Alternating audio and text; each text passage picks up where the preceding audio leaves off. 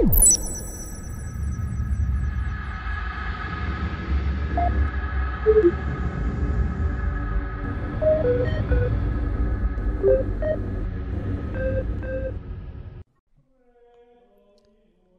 has been said by your most humble servant. Within Chronicles, not all may have security and piety clearances to parse, that our galaxy, our universe, is one enamored with stories. Spend long enough buried within forgotten archives, reading the accounts of ages almost as forgotten, and one cannot help but be drawn to the almost narrative quality of the defining events of epochs now dead. But then again, are we to be surprised at this? When the very arch enemy of humanity, of reality itself, is a collection of howling, malignant, self aware ideas that claw and scratch at the veil between worlds, hungry to get in. Stories have power, as do the players within them, though they may neither realize it nor comprehend the ends to which their decisions will lead them.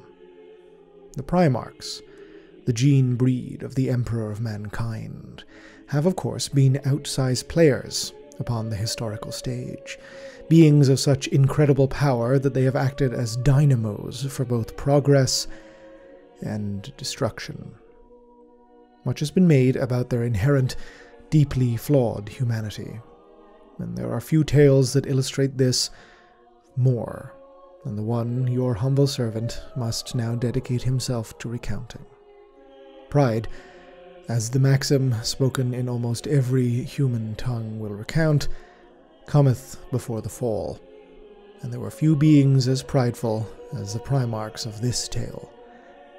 Not even the greatest dramaturges of the past could concoct a story of such breathtakingly human disasters, colliding in painfully, irrevocably permanent catastrophe. Know then that this is the prelude of, well, the prelude, the opening act of the great heresy, the stage setting for the greatest tragedy to ever befall humanity the burning of Prospero. It is oft said that within hindsight lies the truths we were blind to, and it is certain that, with the long years since the passing of the Horus heresy, that which we could not see is all too readily revealed in patterns once secluded. The War Master's rule over the Imperium at Arms was brief within the overall span of the Great Crusade, his tenure marked by victories aplenty but also, should one be afforded a glimpse at the totality, quite curious happenings.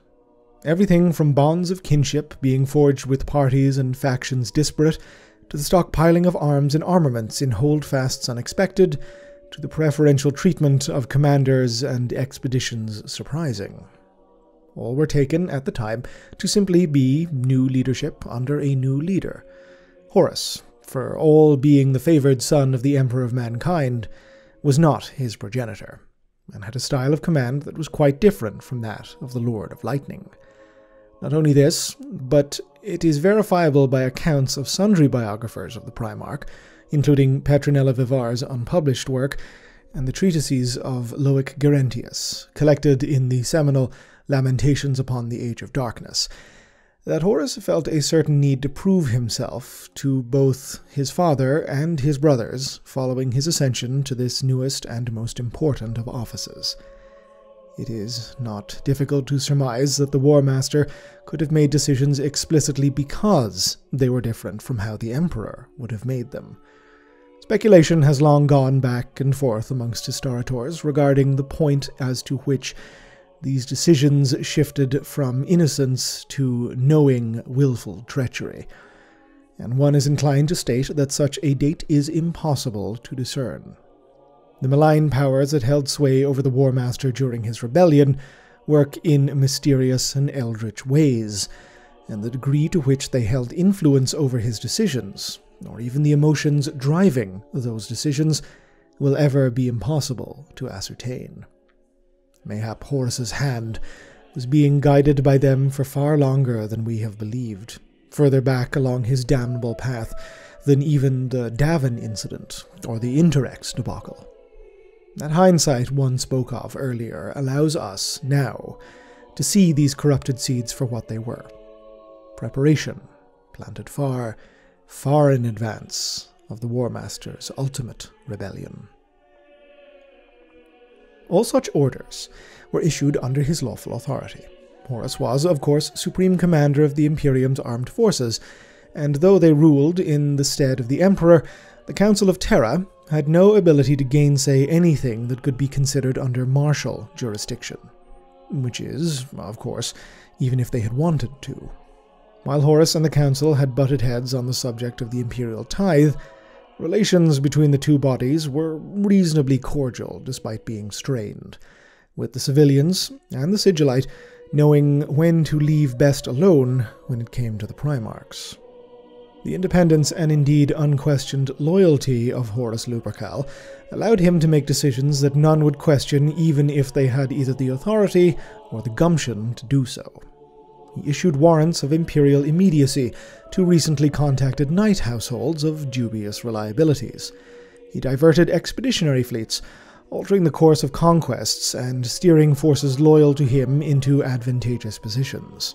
He sent numerous Imperial Army regiments into theaters best suited for the Legiones Astartes, ensuring several of the proudest forces of the Excertus Imperialis were humbled to the point of combat inefficacy. Perhaps most immediately and tellingly of all, but again, only so with hindsight, his final assignments given to Astartes' legions of his brothers saw that those that had the strength to oppose him were rendered isolated or in dire peril, most notably the 1st Legion Dark Angels, 9th Legion Blood Angels, and 13th Legion Ultramarines. In the prelude to her work, Principia Logisticae Excertus, optimization of supply, communication, and munition lines within static defenses, an analysis of the development of Imperial Palace logistical support systems prior to the Siege of Terra, Analyticae scholar Melanie Trath Presantium noted that the work of Lupercal during this particular period spoke to the profound genius of the Primarch as the architect of grand strategy. Such moves took into account what others would not, operating in broad strokes with full awareness that there was no particular linchpin to anything here, merely a collecting of power, an optimization of dispositions, a secret but forceful push to have the most upper of hands once his time would arrive. There was no honor in this, of course, but such is the true face of warfare. Stacking the deck in one's favor, so to speak, is a brilliantly expedient option. It was, of course, not by the sole hand of Horus Lupercal that the destruction of Prospero was wrought. One opens this chronicle with his involvement merely to grant to one's acolytes the context of what was happening in the background across the Imperium as the dread events of the burning were unfolding. World's death was not the War Master's doing in any true sense, merely an event he saw opportunity in and would reap great benefits from. Though naturally Horus bears plenty of it, the blame is impossible to apportion accurately, as many scholars consistently debate whose sins ring louder than whose, inspiring many a tedious treatise as to who did what wrong. Suffice it to say, many are the guilty here. But it would, of course, be remiss of one to not place the lion's share upon the scions of Prospero themselves, the 15th Legion Thousand Sons, who, in the curious and hateful circumstances of the times, found themselves both as initiators and ultimate victims of their own private Armageddon. The Sons of the Cyclops were a legion apart from their cousins, unique in many ways and having been so from their creation. They had not taken part in the Unification Wars, being held from frontline combat status by the Emperor himself for reasons unknown. Adding to this, the bequeathing of the Legion with its moniker, the Thousand Sons, rankled the other legions as a mark of favor unearned by Astartes who had neither bled nor died during the Unification Wars or the Solar Reclamation. The ill will borne towards the 15th only deepened as rumors of their arcane practices and willful battlefield use of Psykana emerged, something the Sons themselves did little to either justify, explain, or hide. While there were some within the 15th that sought to educate their cousins in other legions, engaging in exchanges or debates upon the practices of the occult, many more within the 15th wore their separation as a badge of honor, seeing the ignorance they were treated with as little more than confirmation of their superiority over regular Astartes. They were, by their reckoning, enlightened scholars, crafted to be so by the hand of the Emperor, and the barbarians that bayed for their censure were merely obstacles on the road to a greater human future. For context, the fear of Psykana, with which the Imperium was riddled with, was not precisely unjustified. The Age of Strife had been an epoch where occult phenomena of all sorts had run amok across the material plane, wreaking untold devastation and claiming uncountable lives. Sorcerer kings mad with the powers of the warp were plentiful and terrible in equal measure, their genocides and apocalypses surviving, if not in record, then within folk memory, a blight upon the history of mankind, however you cut it. The Psyker was of course not unknown to humanity before the terrible fall from grace millennia before the revelation of the Emperor. Psykers had begun to emerge upon human worlds during the age of technology, and it has been supposed by many, not least amongst those of whom have hidden knowledges of the Emperor's own supposed origins, that they have always been amongst us, merely in minuscule quantities until relatively recently. During the millennia of the first great human interstellar empires, however, they had been met with intense curiosity and study on many worlds, whereas upon others they met with only superstition and death. The long peace of the age of technology gave way to the carnage and slaughter of the machine wars, and, with the warp in turmoil and its denizens more alive and hungry than they had been in eons, the sudden emergence of a glut of human psykers proved catastrophic beyond imagination. On millions of human worlds, psykers fell victims to their powers. Creatures from a plane worse than all the hells of human fancy, pupating within their flesh and emerging in gory apotheosis to slaughter and maim. Whole worlds were consumed by these incursions, and elsewhere, where the tides of the Empyrean merely corrupted instead of possessing, mad psyker despots rampaged throughout the fires of their once great civilizations, ruling, ruining, ravaging. This era would last for 5,000 years, an age of death and destruction never before seen, and above all, the spectre of the insane human psyker, crackling with barely contained eldritch energies eyes alight with unstoppable malignancy. The emergence of the Imperium as a regime came in tandem with the outright refutation of the uncontrolled and unrestricted use of psykers that had defined the Age of Strife. The worst of the foes of the early Unity regime upon Terra had been sorcerer warlords mad with unchecked mutations or in possession of arcane and corruptive lore from the deepest reaches of history. While the Emperor himself was indeed a psyker, his strength in that art and his willpower besides were so inordinately separated from the human scale as to render him seemingly immune from the corruption those weaker of his kind perennially faced. When the Imperium had been formally founded, bodies within it had been also formally incepted, specifically to account for and deal with the Psyker. The Divisio Telepathica's existence was not merely born of the necessity for efficient interstellar communication in the form of astro-telepathy, no, but to regulate the entire sum of humanity's psychic human resources. Psykers rendered unto the Divisio, found their lives committed to draconian study and training, brutally hammering their abilities into forms useful to the Imperium, and, moreover, limiting and controlling them. The distrust of the Imperium for the Psyker is one born of millennia of pain and trauma, yes, but additionally one of utmost necessity. Humanity had not changed by the hand of the Age of Strife, only been traumatized by it. The human genome was not fundamentally different in M30 than it had been in M25. so the control of psykers was placed at the apex of imperial doctrine. The astropaths, the navigators, even battle psykers, they were all grim necessities of the Imperium and its Great Crusade. Resources wielded, yes, but rigidly controlled and structured, bound by the strongest and most inviolate decrees of the Lex Imperialis. Then, of course, there were the Legiones Astartes, the Librarius, and the Council of Nicaea. One has elaborated upon Nicaea at length in a previous record, which, if you have not parsed it, I would encourage you to cease playback of this particular chronicle and append it for later consumption only after you have concluded studies upon that earlier work. In brief, the council was a conclave gathered by the emperor himself, consisting of the great and good and the influential of the Imperium, to resolve what had become known as the Psyker question. The Imperium, and most particularly the Legiones Astartes, could no longer operate within uncertain policy. For the entirety of the Great Crusade, the Astartes and their Primarchs had enjoyed independence of jurisdiction over their own internal affairs, but to have such a stark contrast between them and the remainder of the Imperium, over the issue of Psykers in particular, was appearing to be no longer tenable.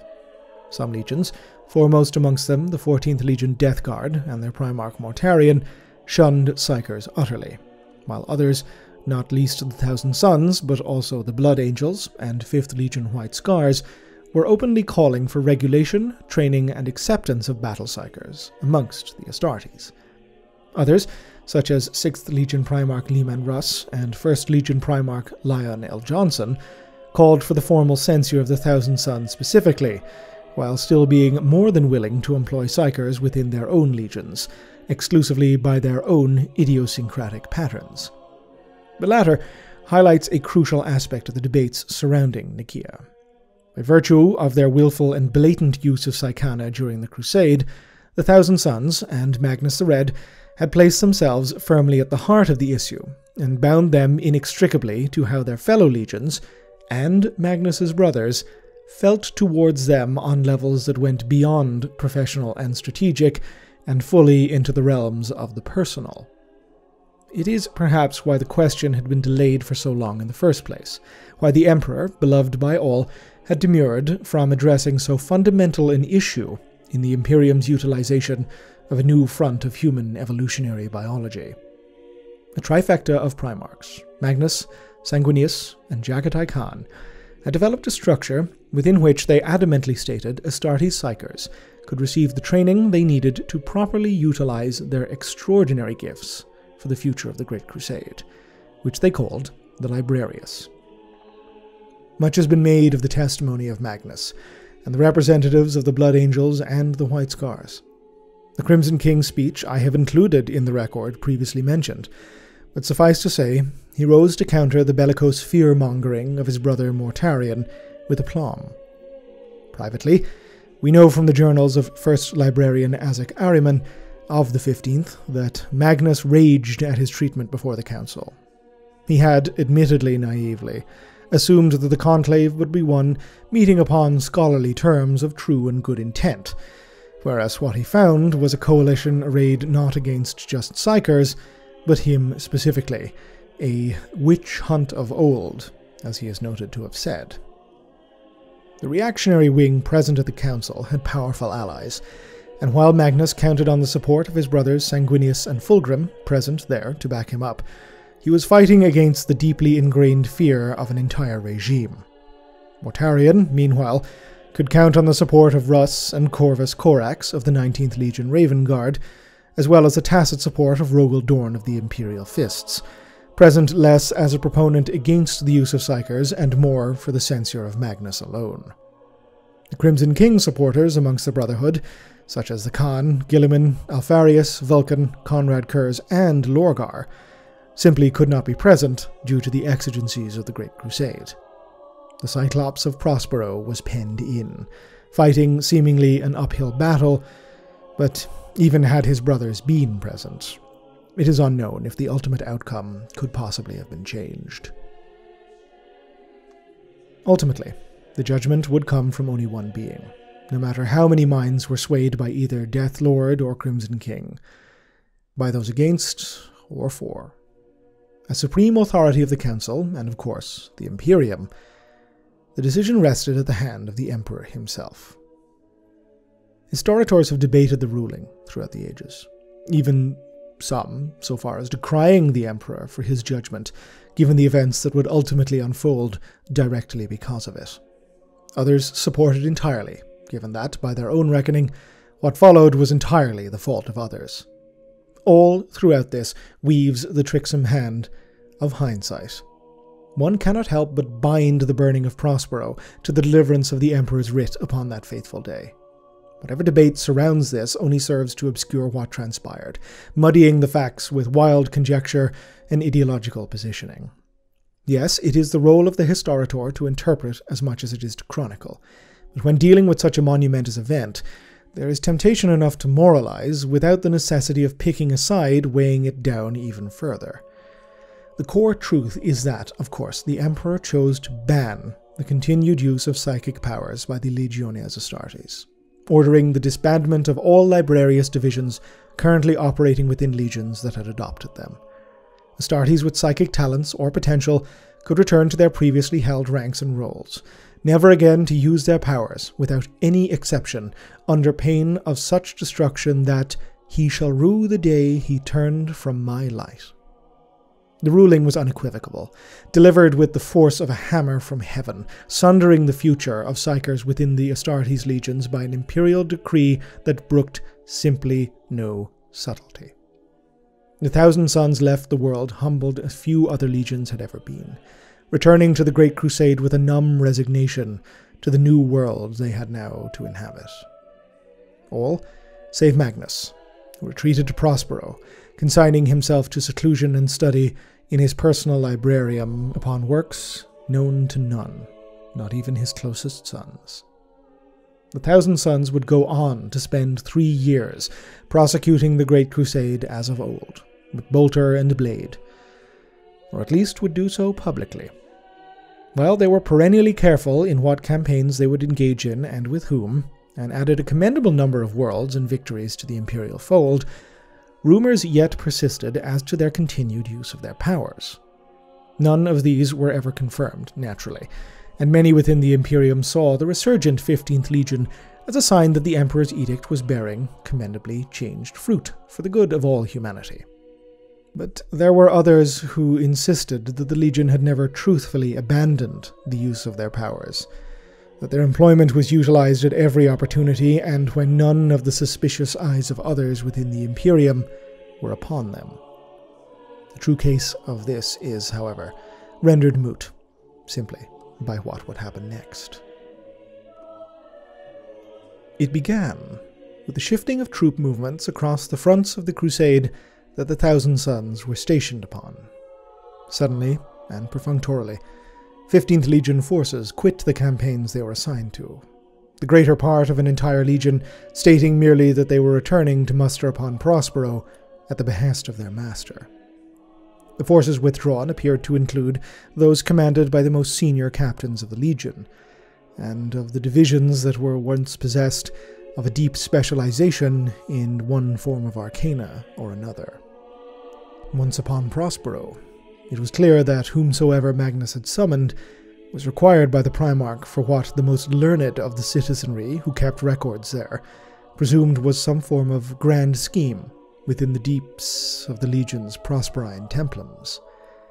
The picture of what happened subsequently is only possible to construct from sources both disparate and incomplete many of whom are potentially even apocryphal, for it has been an event that has been loaded with so much conjecture, disinformation, and outright superstition as to have been muddied to the point of near insanity. Nevertheless, one will, of course, try.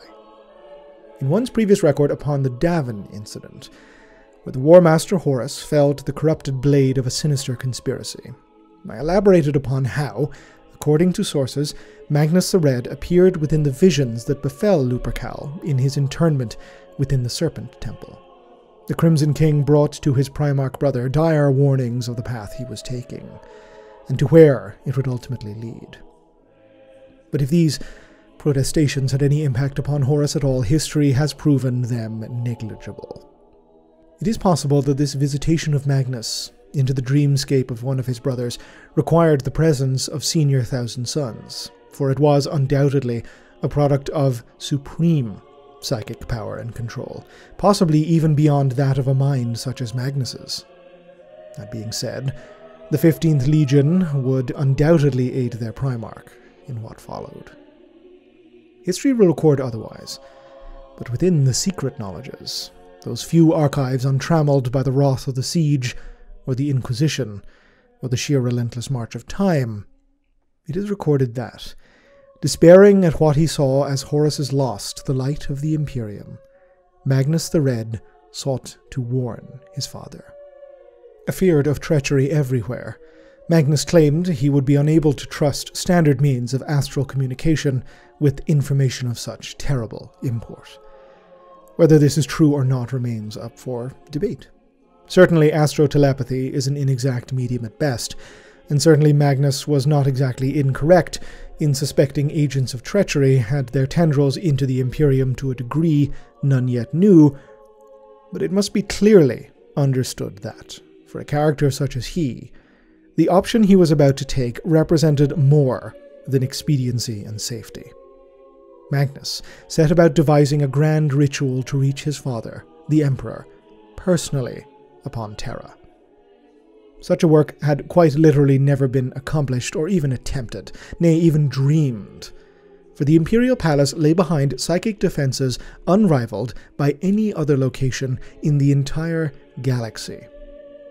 Shielded from paranormal and immaterial attack by devices from the dark age of technology, and those wrought by the Emperor's own hand, it was functionally impregnable to any psyker alive.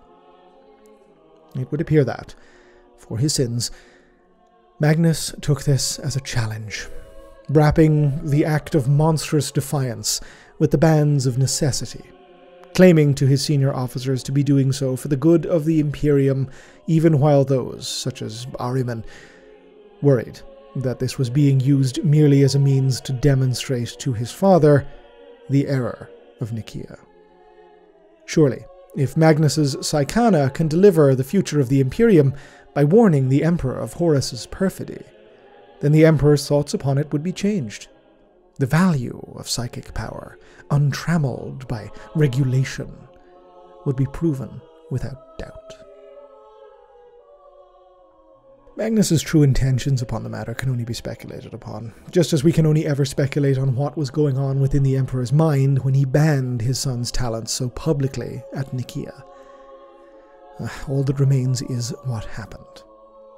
It is a matter of record that, in 004 M31, the Imperial Palace was recorded as having been the epicenter of a calamity unlike anything that had ever occurred planetside. Massive ground shocks and earthquakes spread out across the subcontinent from the imperial palace's heights in the Himalazia, wreaking devastation upon the hive cities and infrastructure across the pan Asiatic reaches.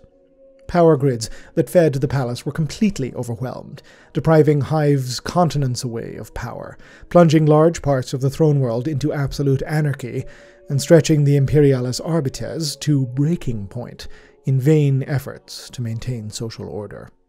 The latter was likewise assailed by strange phenomena and manifestations congruent with aetherical incursions from the immaterium, resulting in a massive and sudden upsurge of inexplicable and horrific violence.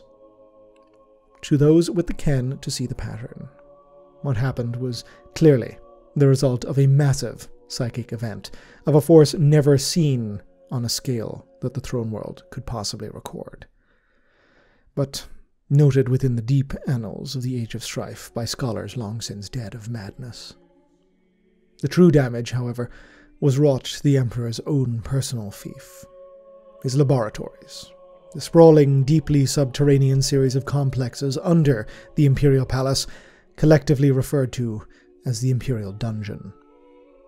By the records of none other than the Ten Thousand, the vaunted Legio Custodes, Magnus the Red manifested upon Terra.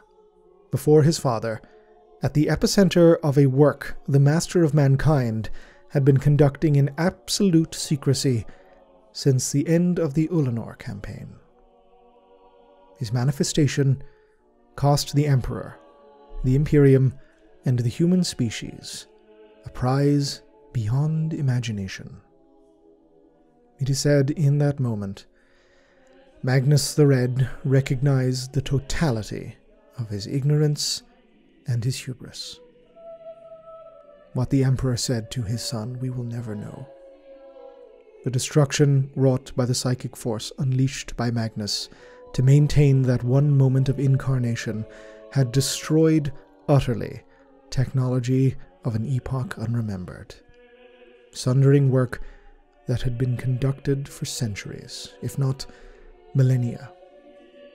The Imperial dungeon was almost ruined beyond repair by the actions of the Crimson King, while elsewhere on Terra, the estimated death toll caused by everything from psychic emanations to infrastructural failure would reach the hundreds of thousands. There was never an official statement upon the matter, not to the broader Imperium. The Arbites eventually restored civil order upon the throne world.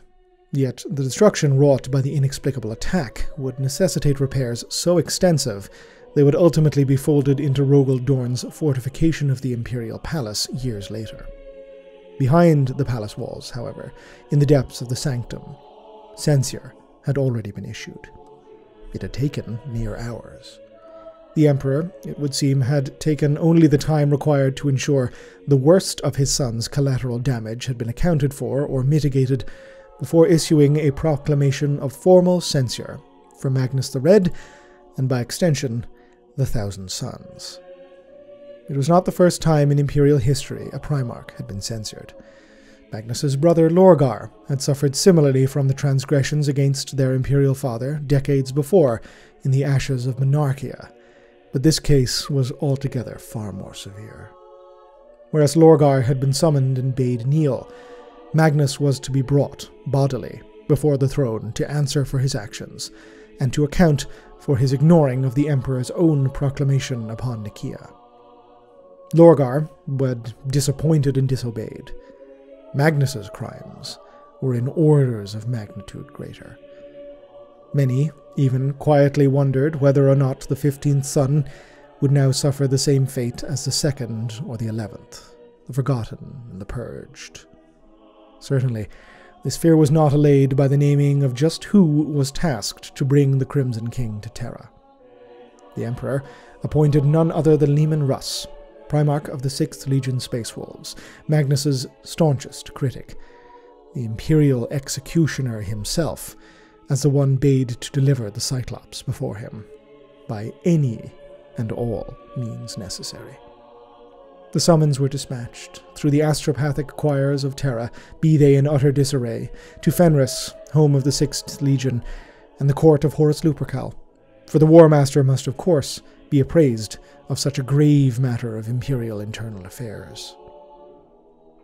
Much, of course, was made by the highest echelons of the Terran regime about the choice of the Vlka Fenryka for this assignment. The bellicose and isolated legion had a dark and blood-stained history, their unswerving loyalty considered not that of noble paragons of imperial virtue, but that of an attack dog, desperate to slip the leash and savage itself upon the foes of its master. This, too, was even before one considered the well known enmity that existed between Russ and Magnus, the Wolf King having been the Cyclops' most vocal critic for decades. The coming confrontation, with Russ granted the highest of approvals to bring his brother to task by seemingly any means he desired, would be one unlike any the Imperium had ever seen. The burning of Prospero, despite the verb that denotes it, was not one act. Few things are in the grand sweep of history, but this event is one so wrapped up in narratives, personalities, agendas, ideologies, and the sheer weight of time itself that it forms a mass that appears to pull in everything around it, bending the fabric of the past by its sheer influence alone. Threads weave into this tale from unexpected corners, with each new examination of what fragments of Chronicles past remain, new possibilities emerge. What one has compiled is one's own truest account of what occurred, But even then, the dread weight of the past itself will inevitably reopen wounds of conjecture and supposition. For as with so much of the past, what was is clouded by ignorance, redaction, and vested interest. What you shall find in this tale's telling, dearest acolyte, is as much of the truth as can be managed. But as any good historitor knows, truth is a fickle beldam, coyly luring away the unworthy with promises and trapping them inside prisons of their own biases. Alas, one has not the time to lecture upon the means of ethical and legitimate scholarship of times gone by, but simply put, Possess within yourselves an inquiring spirit and a mind open to doubt. Far from the maxims of the Inquisition, a mind too small for it is an ill thing indeed.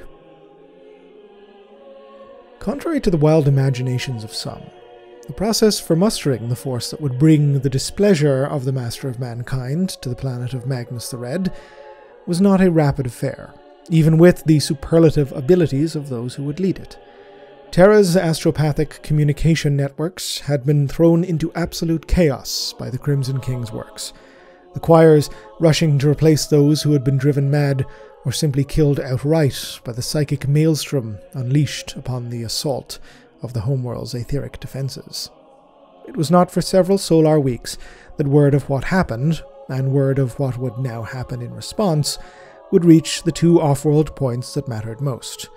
The vengeful spirit flagship of the War Master Horus Lupercal, and Fenris, icebound fief of the 6th Legion Astartes, the Vlka Fenryka, commonly, if always informally, known as the Space Wolves. Unsurprisingly, the records of just what transpired in this time period are fragmentary, both due to the infrastructural devastation wreaked upon Terra the whims of warp chronodilation, and of course the loss of archival records during the Great Heresy. But it appears that, at least initially, the muster was spearheaded by the Captain General of the Legio Custodes, Constantin Valdor. The Emperor, absent from public and military life for years at this point, did not emerge from the palace at any time during or following the chaos. Authority from within the imperial household flowed from the font of Valdor, first of the Ten Thousand, and Malcador the Sigillite, from his position as head of the Council of Terra, both now furiously occupied in bringing stability back to the tumultuous throne world. To the Captain General was delegated the responsibility of mustering the force of arms to be known as the Censure Host, although it was always understood that eventual command would be granted to Leman Russ, Primarch of the Sixth Legion, as under the Imperial Junta government the Primarchs shared equal authority, second only to the Emperor. In terms both judicial and practical, Valdor was likely perfectly fine with this arrangement. Had his personal feelings upon the matter, or indeed any matter, ever been a consideration to his comportment of his duties, anyone who states thus clearly does not know the Custodes. The Captain General was a leader and a warrior considered second only to the Primarchs. Indeed, many have long speculated that in terms of sheer combat prowess, he would have been the equal or better of many of them, although one finds such petty power dynamic bickering trivial and ultimately pointless. It was Valdor's stated and consistent position to remain as perfectly neutral from all aspects of imperial politics, be they martial or temporal, as he, and by extension the Legio Custodes, could possibly be. Intervention was only ever undertaken under the explicit direction of the Emperor himself, or when Valdor's own judgment concluded that either these orders or the Emperor's personage was at risk. Valdor's appointment to this position within the censure host was both the natural result of his position at the highest military authority on the throne world, and as well a considered choice, as the importance of the host's mission could under no circumstances fall prey to the Imperium's oft divisive politics. The Council of Nicaea was still fresh upon the minds of many, even years later, and many of these would damn Magnus a traitor for the actions he had taken, disrupting the stated mission of the host, which was to bring Magnus before his father, the Emperor in person. Additionally, the legendary composure of Valdor was likely considered vital in reining in the more eh, bellicose character of Leman Russ, known as one of the most willful Primarchs amongst the Brotherhood. Finally, as the bearer of the Magisteria Maxima, the Emperor's own judicial seal, Valdor had supreme legal authority under the Lex Imperialis, possessing the full legitimacy of the military regime's government. In the immediate term, the Captain General had no difficulty in securing the core of the censure host from the local volume. Although it had been 200 years since unification and the Solar Reclamation, the Sol system, and Terra specifically, was the greatest fortress humanity had ever possessed, and was manned accordingly. Diverse armed forces from both humanity's core worlds and its recently conquered regions were present, in both ceremonial and specifically defensive roles. These included Astartes from all legions, the so called Crusader host, as well as the Solar Auxilia, the Excertus Imperialis, soldiers in their millions, as well as thousands of Mechanicum Tagmata, both Martian and otherwise, and hundreds of god engines of the Collegia Titanica. Valdor's choices from these formed a cocktail of the powerful, the exotic, the arcane, and the influential. After all, the host's primary purpose was as escort for Magnus the Red, however imprisoned the Crimson King was to be during the voyage. Such an event was both punishment for the Primarch's crimes and a message to the Imperium, a demonstration of the fate that would be suffered if any others chose to defy the Emperor's writ, no matter their station. Fittingly, the forefront would represent the Emperor's Auric judgment, a vanguard of the Legio Custodes itself. 982 warriors of the 10,000, representing 91 individual sodalities of the Legio. Supplementing them in unaugmented manpower were the regiments of the Excertus, with the bulk being 5,000 troopers from the 3rd Terranic, the Ironside regiments of Old Albia. Alongside them were 4,000 Hoplites from the 9th Solar Auxiliary Cohort, one of the renowned Saturnine Rams regiments that had founded this wing of the Imperial Auxilia during the Solar Reclamation. The 10th and 42nd Sacrosang Voltigeurs provided 3,000 light and reconnaissance infantry for service, while eight Tyrian Exoguard regiments offered up 600 void armored heavy infantry and 100 or so of their helots. Finally, the Carinid Sentinels were levied of 2,000 of their men at arms, all of which were amongst the most augmented baseline human troops within Sol's Light bearing weaponry and equipment allowed to no other Excertus regiment, as befitted their stations, as wardens of the vast volumes between the planets and stations of humanity's home system. Despite the presence of so many Tagma within the system at the time, it curiously does not appear that the Mechanicum of Mars were contacted to provide these military elements for the host. Indeed, that they were included at all appears to have been a direct result of a late and highly pointed request made to Valdor by the fabricator general Kelbor Hal himself, subsequent to the time that word of the host's formation had reached War Master Horus. If the Captain General had desired to make the censure a completely imperial affair, keeping Mars, the Fabricator General, and the Synod out of the proverbial loop, it appears he either underestimated their desire to play a role in such a pivotal event, or was outmaneuvered politically, for means either mundane or, in dreadful hindsight, ominous. Consequently, the Sidonian tagmata was attached to the host, formed of tagma drawn from Ekris, Norn, and Ifrem, as well as Mars herself, with the stated purpose of the inspection, assessment, and, if necessary, impounding and disassemblage of any technology found upon Prospero that Mechanicum Dogma prohibited. These were the most visible elements of the censure host. Valdor, of course, was not content in merely utilizing the mundane forces at his disposal. Indeed, considering the legion he was tasked with standing before, far more exotic formations were called for. To the Somnus citadel upon Luna, Terra's sole natural satellite, a missive was dispatched, and it was one that was answered immediately. 3,000 Sisters Militant of the Divisio Telepathica's Investigatis wing, commonly known by those aware of their existence as the Silent Sisterhood, answered Valdor's summons, constituting three full vigils and associated Kharon pattern Acquisitor grav tanks. Additionally, far to the west of the Imperial Palace upon Terra, a black clad representative made his presence noted to Valdor and the host's command cadre, notifying the Captain General. It should be noted, history is unclear if this figure had been requested or not, that the Chamber Occidentalis of the Ordo Sinister was at full combat readiness. Five Warlord Sinister class Psi Titans, the most horrific and terrible weapons ever constructed by the Emperor's own hand, were embarked upon their ebon transport barks and awaiting deployment, along with 100,000 Secutarii Sinister, the Ordo's bespoke Secutarii Titan Guard.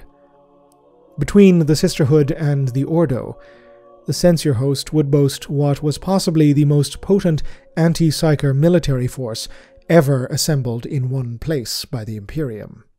Certainly, while the Ordo is known to have engaged in several psycho arcane purgation engagements throughout the Great Crusade, records are, of course, significantly redacted.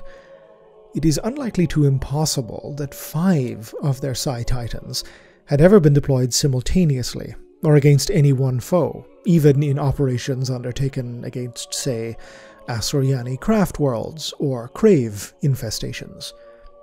Certainly, this was reflected in the command cadre that formed the core of authority within the host. Constantin Valdor was naturally the apex, but at his right hand stood Jenetia Krole, the vigil commander of the Sisters of Silence herself. Below them, authority for the unaugmented troops lay with High Marshal Marcus Roan of the 3rd Terranic Auxilia, while at his side, outside the chain of command, Dominus Zelatkus, Thrain Esmark, prefect of the Chamber Occidentalis, commanded the Psi Titans. The Mechanicum, as you may see, had no say in command authority. Their tagmata was expected to defer to Valdor, Krole, and Esmark, depending on situational demands. The Custodes and the Excertus were the public face of the censure host. Such a rapid collection of military might in the near space of Terra could not escape the notice of many, no matter the supreme authority of those that were directing it the Emperor's writ of censure had been made explicitly public. All present upon the throne world, with half a lick of sense, knew that the Custodes were forming an expedition to capture the Cyclops of Prospero.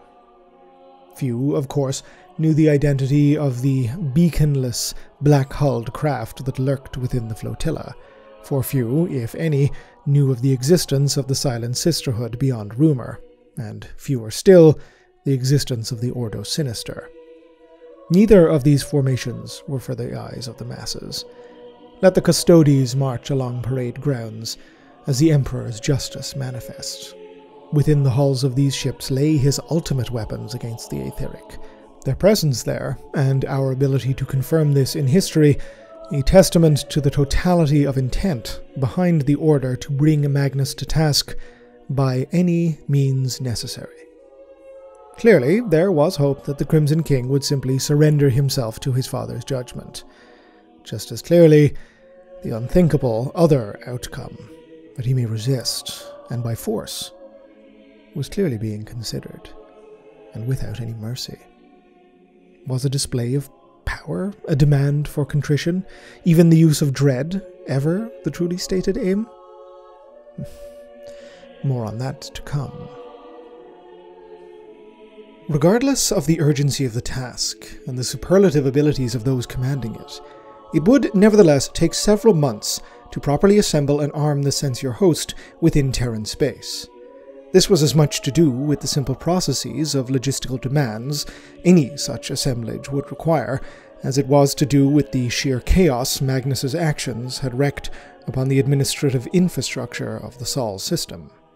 Additionally, the import of the action was lost upon none, with the senior staff of all wings of the host sequestering themselves in the most secretive chambers of the Divisio Militaris headquarters, to study in detail the intelligence that existed about the Prosperine system, its locales, and its potential defenses. Valdor personally demanded the presence of Atharva, the single Astartes representative of the Thousand Sons present within Sol's Light at the time of Magnus's folly. Through debriefings likely intense, Atharva was interrogated about his homeworld, his legion, and his Primarch, willingly surrendering what information he could to the host. It appears that at this point the idea that Magnus would somehow resist was not actively in consideration, at least not in the minds of Valdor and Malcador. Both believed the Sisterhood and the Ordo Sinister to be weapons of absolute last resort. One such as Valdor would never be given over to emotional considerations, being a man of deep, faultless practicality. The possibility that Magnus would be in open rebellion before him was scant. Not a total impossibility, however, so he would be equipped accordingly. That being said, there were within the host those who, on no uncertain terms, were eager to believe the worst of Magnus and his legion. So, whatever the feelings of the Captain General, they were preparing for the worst, or even perhaps relishing the possibility. Strictly speaking, this forward military planning, the assessment of defenses, this was a contingency, nothing more, a necessity in the event of a worst case scenario. Strictly speaking, that is. Under these assumptions, did the censure host slip anchor over Terra, bound outwards from the solar reaches for the onward muster at Beta Garmon. There, it was hoped, the host would rendezvous with the forces of the Sixth Legion and the Primarch Leman Russ. The astropathic choirs, messages of grave import long since delivered, now turned their attentions to making the writ of censure known as far and wide across the galaxy as possible. As the censure host left the system, the mimetic dream code of deepest gravity leapt from the minds of Terra's astropaths across all Memno communication hubs. The Emperor was broadcasting his word. This was the fate of those who had breached his trust, and there would be none spared from the might of his Lex. At the time of the declaration of censure, the Sixth Legion, the Vlka Fenryka, were believed to have been engaged in at least six major crusade campaigns, with Leman Russ, as was his wont, at the forefront of the most deadly of these, engaged in the xenocide of the Scarek in the volume of Cypra Mundi. Due to the particular idiosyncrasies of the Sixth Legion, the wolves that stalked the stars kept few to little written records. All we know of Russ's reception of the news comes from the sagas as related by their rune priests, as well as Divisio Militaris, logistical, and transit logs. The former tells tales of the Wolf King's towering rage at the perfidy of his brother, cursing him to any who would bear to stand against the Fury as a sorcerer in thrall to darkest maleficarum. The latter shows that Russ quit the field of battle at Cypra Mundi and made for the Legion's homeworld of Fenris with a haste that was almost unseemly, speaking to his zeal that he possessed for the task he had been assigned, or perhaps fury at the actions of his brother. Certainly, the announced departure of Russ and the Wolves from the Scarek Purgation drew outraged protestations from the commanders of the Imperial Army, as it threw the entirety of the campaign planning into disarray. Not content to leave a battle mid Russ instead opted to disregard the previous Imperial strategy of methodical but consistent extermination instead massing the entirety of his Astartes forces into a single strike upon the Xenos core world, ignoring outlying systems. The victory was, of course, won, and in short order, but at no small cost. While the world Warren had been reduced to a phosphex choked ash wasteland, several thousand space wolves had died in the process, and although the source of the Scarek infestation had been removed from play, there yet lay many more worlds under the thrall of these Xenos. Nevertheless, judging his contribution and honor satisfied, Russ and his fleet made full wake out system, leaving the Imperial army to finish the work that remained. It is known that these regiments fared very poorly without Astartes' support, spending many more years than had been initially planned finishing this xenocide, at the cost of several hundred thousand soldiers. Russ brought with him a complement of wolves that had, prior to the assault upon the Scarrick core world, numbered some 20,000 Astartes, the entirety of On and Sep, the first and seventh of the Legion's great companies. The former consisted of the Wolf King's Huskarl retinue, as well as the Legion's foremost companies and the vast majority of its Terminator Astartes. The latter, known within the Legion as the Black Cull, formed the bulk of the Vlka's Destroyer Corps, as well as those afflicted with rage inducing geno deficiencies that marked them out for inclusion in the Legion's Death Sworn divisions. As the pack traveled to Fenris, Russ made all possible attempts to contact the remainder of his legion, redoubling his efforts once enshrined within the cold halls of the Fang, the holdfast upon the ice world itself. Again, we must trust to the sagas and interpret what Divisio Militaris records remain, but it does not appear that Russ spent any more time on Fenris than a month Terran standard, allowing only such time as was absolutely needed for On and Sep to repair critical arms and armaments, and to count their dead. There would be no time for the depleted 1st and 7th Companies to reinforce themselves, nor indeed would there be any time for those wolves furthest from the Legion to make it to their homeworld, or to Beta Garmon, in the time that Russ demanded they do. This issue of replenishment of the ranks was in fact a substantial one for the Legion as a whole during this period. The wolves habitually engaged with foes, and in a manner that, to be blunt, courted a higher body count than was strictly speaking necessary. All of their campaigns were entered into under the assumption, and indeed perhaps resignation, or desire, that they would be bloody and painful. Despite their legendary self reliance, second only perhaps to the 5th Legion White Scars, many of the Wolves' great companies that answered the summons of their Jarl of Jarls were in dire need of replenishment.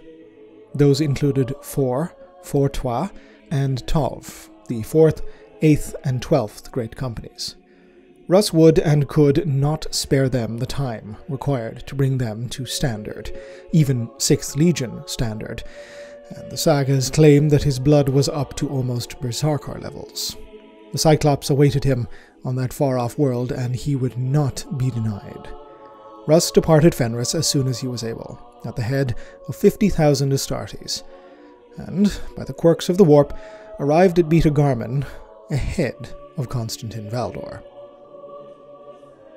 Thanks to both the Sixth Legion's Saga of Prospero, remembrances of senior Excertus officers amongst the Terran contingent, and the superlative work conducted by the chronicler Julius Heraclastes Bensuldam in His Eye Diminished, The Burning of Prospero, The Demise of the Fifteenth Legion, and The Breaking of the Cyclops, with further observations upon the calamity of the sorcerers. We have a surprisingly accurate record of the force that Valdor found waiting once the Terran wing of the Censure host broke from the warp. The Space Wolves, naturally, made up the bulk of the contingent, and indeed comprised the vast majority of the Legion that was contemporarily available in active service, some 73,000 Astartes. On, the first great company, the Breakers of Rings, were 3,000 strong, most of these being senior commanders, as well as the Legion's Varagyr Terminator elite. Trois, the second great company, the Thread Cutters, were only 800 in number, being primarily engaged elsewhere, but a large number of these were veteran infantry, as well as dreadnought sarcophagi.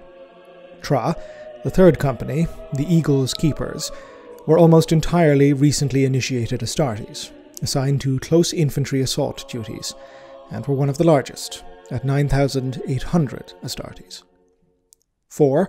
The fourth great company, the Bloodworm's Masters, were heavy infantry and self propelled artillery, 8,600 strong. 5. The fifth great company, the Blood Ice Storm, had been present on Fenris for inductee training and replenishment, and thus comprised of a combined arms force of 10,000 Astartes. Sep, the seventh, the Black Kull, as noted earlier, had been with Russ at Cypramundi, now boasting 5,200 Astartes, almost all destroyers or death sworn. Trois, the eighth great company, the Slaughter Fire Heralds, were 9,500 strong, dedicated primarily to reconnaissance and forward infiltration. Tra Tra, the ninth great company, the Serpents of the Battle Moon, were infantry support, special weapons teams, and rapier heavy battery platforms, at 7,800 Astartes. Elev, the eleventh great company, the Sea Bearers Flame, were another combined arms force, but notable for having a substantial number of Terrans within their ranks, some 9,200 Marines in total. Tolv, the 12th Great Company, the Shield Gnawers, supplemented the 3rd with close infantry support formations, but bolstered by heavy armor divisions, and consisted of 8,700 Astartes in total. Finally, Dek Tra, the 13th Great Company, the Corpse Renders, were 600 strong, the smallest of the company elements committed, and consisted of light assault and pursuit infantry squads. Sesk, the 6th, and Dek, the 10th, were absent in their entirety from the muster, unable to either disengage from their campaigns or make it to Beta Garmon in time. With the wolves massing and waiting the arrival of Valdor, the censure host was joined by a surprising but not exactly unexpected contingent. 5,000 Astartes in the sea green of the newly renamed 16th Legion, the Sons of Horus. The War Master had not elected to sit idle as the censure host committed to its duty, and had committed a full battalion of his legion, conspicuously arrayed as a line of battle unit and not as a ceremonial detachment. The Sons of Horus were not alone either, as with Valdor's oncoming contingent were accompanied by Excertus Imperialis troops. 9,000 soldiers of the 19th Chthonian Headhunters, 4,000 of the 3rd Idranian Seekers, and 8,000 soldiers from the 73rd and 75th echelons of the Host of Brass. Notably, all three of these divisions had either combat history against, notable hatred of, or specialized equipment for the Psyker.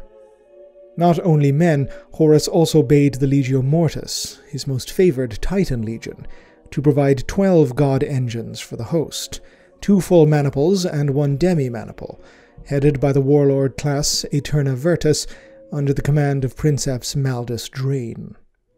The head of the War Master's detachment was Overseer Boros Kern, commander of the 16th Independent Assault Battalion. His rank was a relatively newly created one, following the 16th Legion's Davin incident. Kern was purportedly an intense and driven figure who requested, as emissary of the supreme military authority outside the imperial household, to meet with the Wolf King at the earliest opportunity. He had, so he claimed, special instructions from the War Master himself, based upon the latest information Horus had in his possession. What Kern bore precisely, what Russ was told, what Horus said, none of this has ever been revealed to any scholar. It is likely that the only persons who ever knew just what was in that communique are Russ and Horus, and perhaps those they held closest counsel with. But it goes without saying that we mortals will never be parley to it. All that is known for Russ was vocal about the new resolve that lay within his heart, is that this was no longer a mission of capture. This was a death sentence. He intended to execute Magnus the Red. Much has been made over the millennia of this turn of judgment at so late a date. It had been months since the declaration of the writ of censure by the Emperor, even adjusting for warp dilation. Russ was widely known as the Emperor's executioner, a dog held at his side until the moment the leash was slipped and the jaws were sank into the throat of those his master bade him murder make. The loyalty of Russ was as famous as his bloodthirsty reputation. He was no insane butcher like his brother Angron. His was a fury fully contained until the moment he chose to release it. Many chroniclers have thus tended to paint Russ as a victim of circumstance, corrupted to the purpose of the War Master against his will, tricked by the perfidious Lupercal and his cloying words. Loic Gerentius, in his seminal Lamentations upon the Age of Darkness, falls prey to this, a notable flaw within his work being a tendency that many others have shared, to lionize those Primarchs that stayed steadfast to the throne, while damning the insidious wretches that betrayed it. If one is to remain true to scholarly rigors, we must discount this and admit to ourselves the extant possibility. Russ wanted Magnus dead. Horus merely provided an excuse. It is historical fact that there was no love lost between kings, both Wolf and Crimson. There was outright hostility. Aside from being as unlike in character as any of the siblings had been, Russ firmly believed his learned brother's meddling in warpcraft was a dire and fundamental threat to the Imperium, believing none but their father capable of such study. As an example, the tension is best explored in the events surrounding the Battle of Heliosa, where both legions had been tasked with the conquest of a unity resistant world of ancient human provenance. In typical Thousand Sons doctrine, Magnus had prioritized the capture and codification of the planet's records, considering the millennia old culture worth saving in whatever aspects remained. Russ, by contrast, was committing what the Cyclops called senseless genocide. What resulted was a standoff between both Primarchs and their Legion echelons at the city's central library, culminating in Russ and his wolves charging the 15th Legion, only to be disabled by the Sons' psychic powers. This, however, resulted in one of the 15th, a warrior named Hastar, succumbing to the flesh change for the first time since the Legion had been cured of it by their Primarch. Thrown into panic at the re-emergence of a curse they had long thought lost, the 15th were helpless to prevent Russ from executing Hastar on the spot. Magnus and the Wolf King almost came to blows until the intervention of their brother Lorgar, who was assisting in the operation. This is only one example. The most recent and damning was Russ's own testimony at the Council of Nicaea, where, flanked by his own rune priest psykers, he had been the most vocal and passionate of Magnus's critics. The wolves were, and are to this day, Astartes of contradictions. Russ, no exception.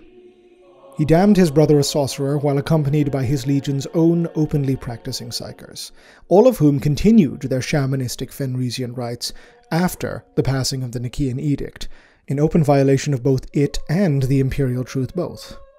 Russ was ever willing to clad himself in the rough appearance of a barbarian king, but it has been noted by chronicles both contemporary and subsequent that this was a carefully constructed facade, that of the drunken oafish lout, to disguise the calculating viciousness that lay beneath. The Wolf King would, of course, never deny this. He had no need to.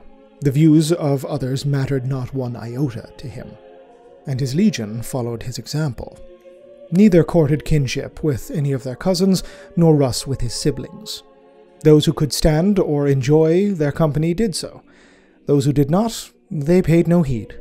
Loyalty to the Emperor was the only thing that mattered to him and to the wolves. The Sixth Legion did not build, nor inspire, nor uplift. They existed to destroy, built for that purpose alone. In many ways, it was a role they shared with the First Legion Dark Angels and their detached, mysterious Primarch, the Lion that of a weapon, and one unconcerned with being anything other than that. This all being said, the wolves clearly relished their role far more than the angels did, savoring the fearful glances and tense exchanges with those of the Imperium that they made uncomfortable. It is uncertain where content detachment ends and egotistical image projection begins with them, and their Primarch. We know so little of both due to their own partialities and the passages of time, to do anything but infer. This all must be considered in precisely why the Wolves and Russ were selected for the role of primary Astartes cohort within the censure host. It is not as if other legions were not available at the time.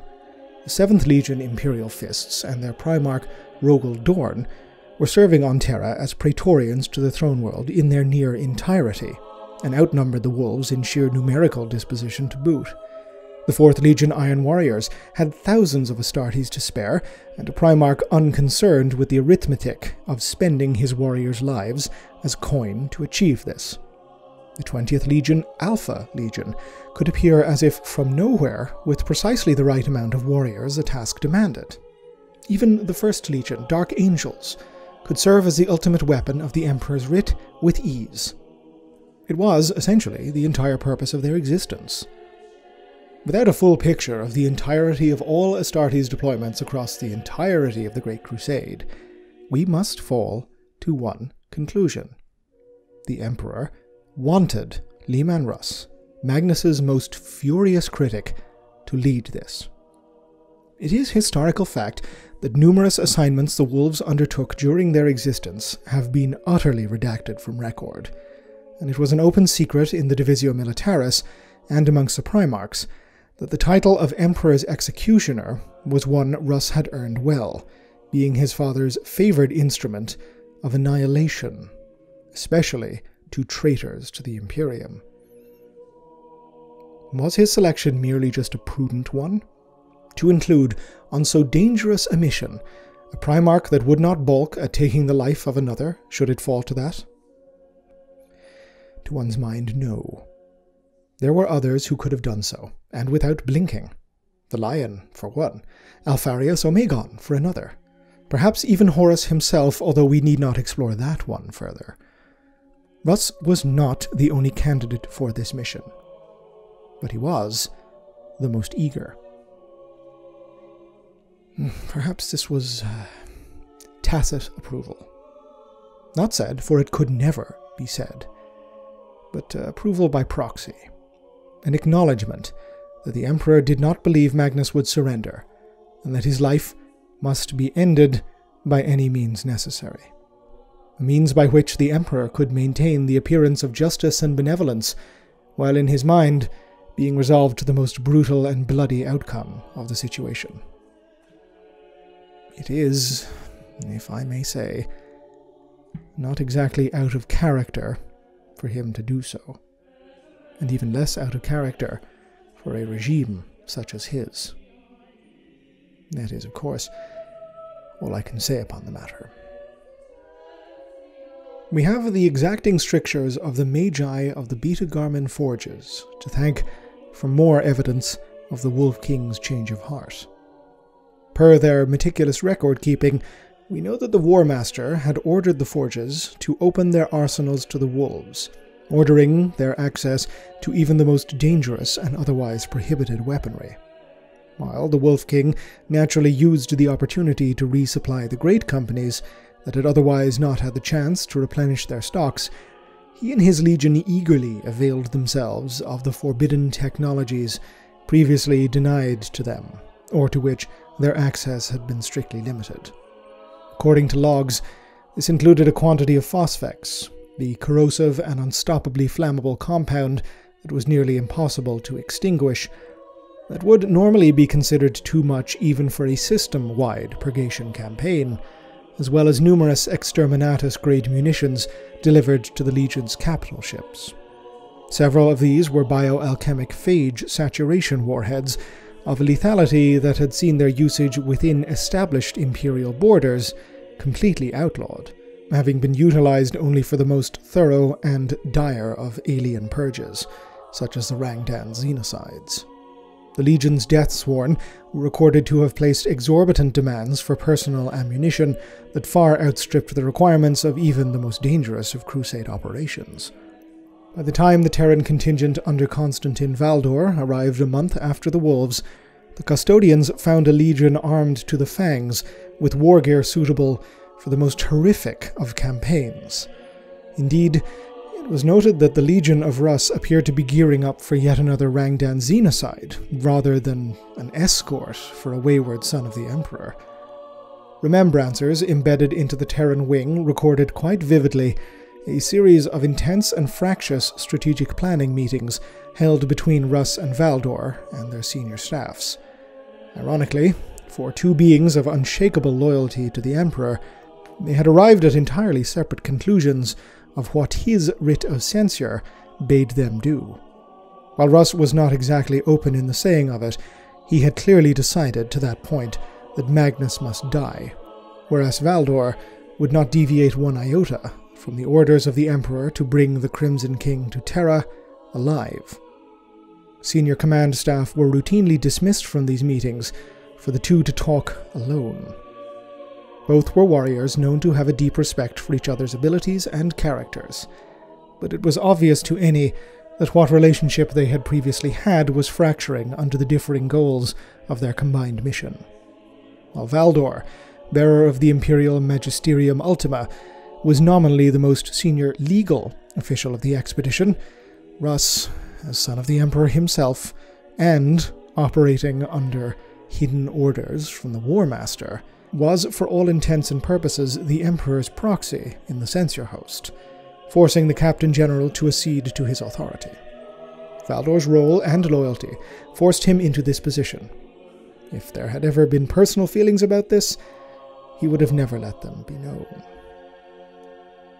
We, of course, know little of the content of these meetings beyond their historical outcomes. Russ, additionally, ordered the dismissal of all civilian remembrancers from the censure host prior to their departure from Beta Garmon. Never a Primarch that had supported the initiative in the first place, the Wolf King would not even consider their inclusion, deeming whatever he intended to occur upon Prospero was not for the eyes of any but the highest of the Imperium, and definitely not fit for public historical record. What we know of what followed is only the result of a careful preservation of material that was redacted at the highest level, and yours truly has had viewership of, only thanks to the writ of authorities yet higher. The revisions Russ demanded to the overall plan of action, held secret from all but the senior staff, took very little time. The Wolf King was deeply eager to be underway. Terra had rendered for the host's service its finest navigators, allowing the fleet to utilize warp corridors not typically plied by military starships. This was both to prevent the fleet from being waylaid by any unforeseen warp experiences, but given the prevailing immaterial currents at the time, the route selected was considered far faster than approaching Prospero by any conventional means. Crucially, too, it would also outmaneuver worlds known to have 15th Legion elements stationed upon them. The censure host was not intended necessarily to be a surprise. For the Thousand Sons, the writ of censure having been broadcast throughout the entirety of the Imperium. That Russ sought to disguise its approach, it speaks to the degree with which he was now treating the Cyclops as an enemy, not a brother, denying him the ability to muster or even prepare in advance. Thus, the doom of Magnus made full wake, barreling towards the unsuspecting Thousand Sons with the fury of a wolf pack unleashed. Its coming was the result of many moving parts, both personal and situational. A tragedy of unspeakable sorrow that would soon break upon the shores of the Imperium and of history. As the censure host of the Emperor cleaved a path through the tides of the Immaterium, powering at full wake towards the planet of Prospero, homeworld of the 15th Legion, Magnus the Red sat ensconced within his sanctum. Around him, throughout the capital of Tizca, were gathered the overwhelming majority of his thousand sons. Yet the potent and, of course, condemned collection of Astartes were not, as the ships of Russ and Valdor powered ever closer, fortifying their home against invasion. They were, instead, obliviously tending to their studies and initiatives, training their bodies and minds for whatever expedition they anticipated their Primarch was surely preparing to lead them upon. Should any acolytes wonder as to how a legion possessed of literal prescience have been able to be caught by surprise, let alone remain unalerted by entirely mundane communication apparatuses, know that it is simply because they were all of them deceived. Magnus the Red appears to have been fully aware that his judgment was nigh, approaching now with slavering jaws, and he made every effort possible to conceal this from his sons, and indeed almost ease the approach of the fleet. What scant records of the Legion, as captured and archived by the Legio Custodes, dictate that the Primarch issued no defensive preparation orders. Instead, he withdrew honor guard and watch garrisons from the world that lay in the path of the censure host, shuttering all holdfasts of the Legion that could potentially deliver any advance warning. Similarly, the fleet of the Thousand Sons was broken into dozens of separate squadrons and dispatched to far more distant Legion outposts, or on unclear patrol routes that would take them into the deep void and as far from the orbit of their homeworld as possible. The astropathic choirs of Prospero were removed from their chambers, records of their recent communiques redacted, and in some cases, the minds and memories of the telepaths themselves altered to remove information deemed sensitive. All of these measures were made explicitly by the order of Magnus. Indeed, the informational aspect appears to be crucial, as by throttling all incoming off world missives, Magnus managed to prevent his sons from not only discovering that their doom approached, but that the Emperor had even censured him in the first place. None save the members of the Rehati, his inner circle, even knew of the ritual Magnus had attempted, and it is unclear if any were even aware of the results, or what had transpired as the spirit form of the Primarch had flown to Terra. Magnus clearly went through great lengths to disguise his failure from the Thousand Sons, even going so far as to alter the memories of those he deemed a threat to its revelation. The motivations of the Crimson King for this are, of course, only open to supposition. Some will claim that it was his means of surrendering to the oncoming judgment, while others will state it was guilt and shame that drove his hand, a mad rush to conceal the truth from his sons until the last possible moment, as he sought martyrdom as penance for his crimes. Official Terran chronicles, compiled in the aftermath of the Great Heresy, stated categorically that it was by the will of the Emperor alone that his traitorous son and his brood had their sight stripped from them. And while one may admire the fervor behind such a statement, it is unlikely that it was anything other than propaganda. Yet, for all their obliviousness, a Legion homeworld was to never be considered an easy target, and Prospero was now host to the majority of the Legion it had borne, as well as auxiliaries of the Prosperine Spire Guard regiments and the subterranean Mechanicum enclave from the local forge world of Shao Arkad. All of these were contained within the mighty capital of Tizca, with the exception of the Mechanicum Forge Fane, for without lay the wastes of a world overrun with predatory Xenos megafauna, the most lethal amongst them being the deadly Psyneuein. The ancient cities of pre-fall Prospero were nothing more than time-worn ruins, occasionally occupied by training outposts of the Legion or heavily defended scientific endeavors. Nothing more.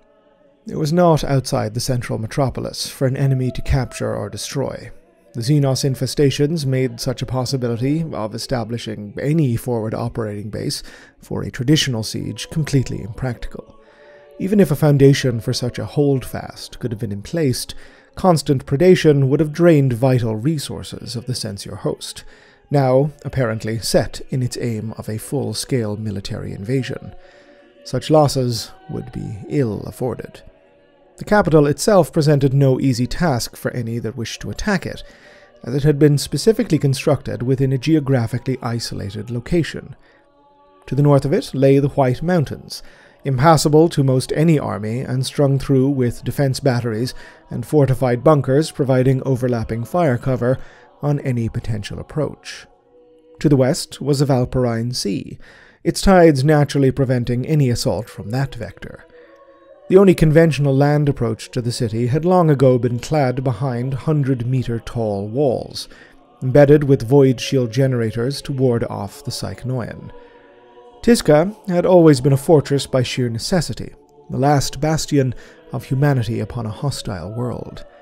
The coming of the Legion had only refined and upgraded this, and, given the Thousand Sons' proclivities, this went far, far beyond void shield and turbo laser batteries. Its skyward vector was protected by a giant telekinetic barrier, designed to channel the power of Raptora cult Astartes and enhance it by orders of magnitude. It formed what was essentially a biologically and etherically generated void battleship equivalent barrier, one that required no power beyond the mental fortitude of those who were delegated to maintain it.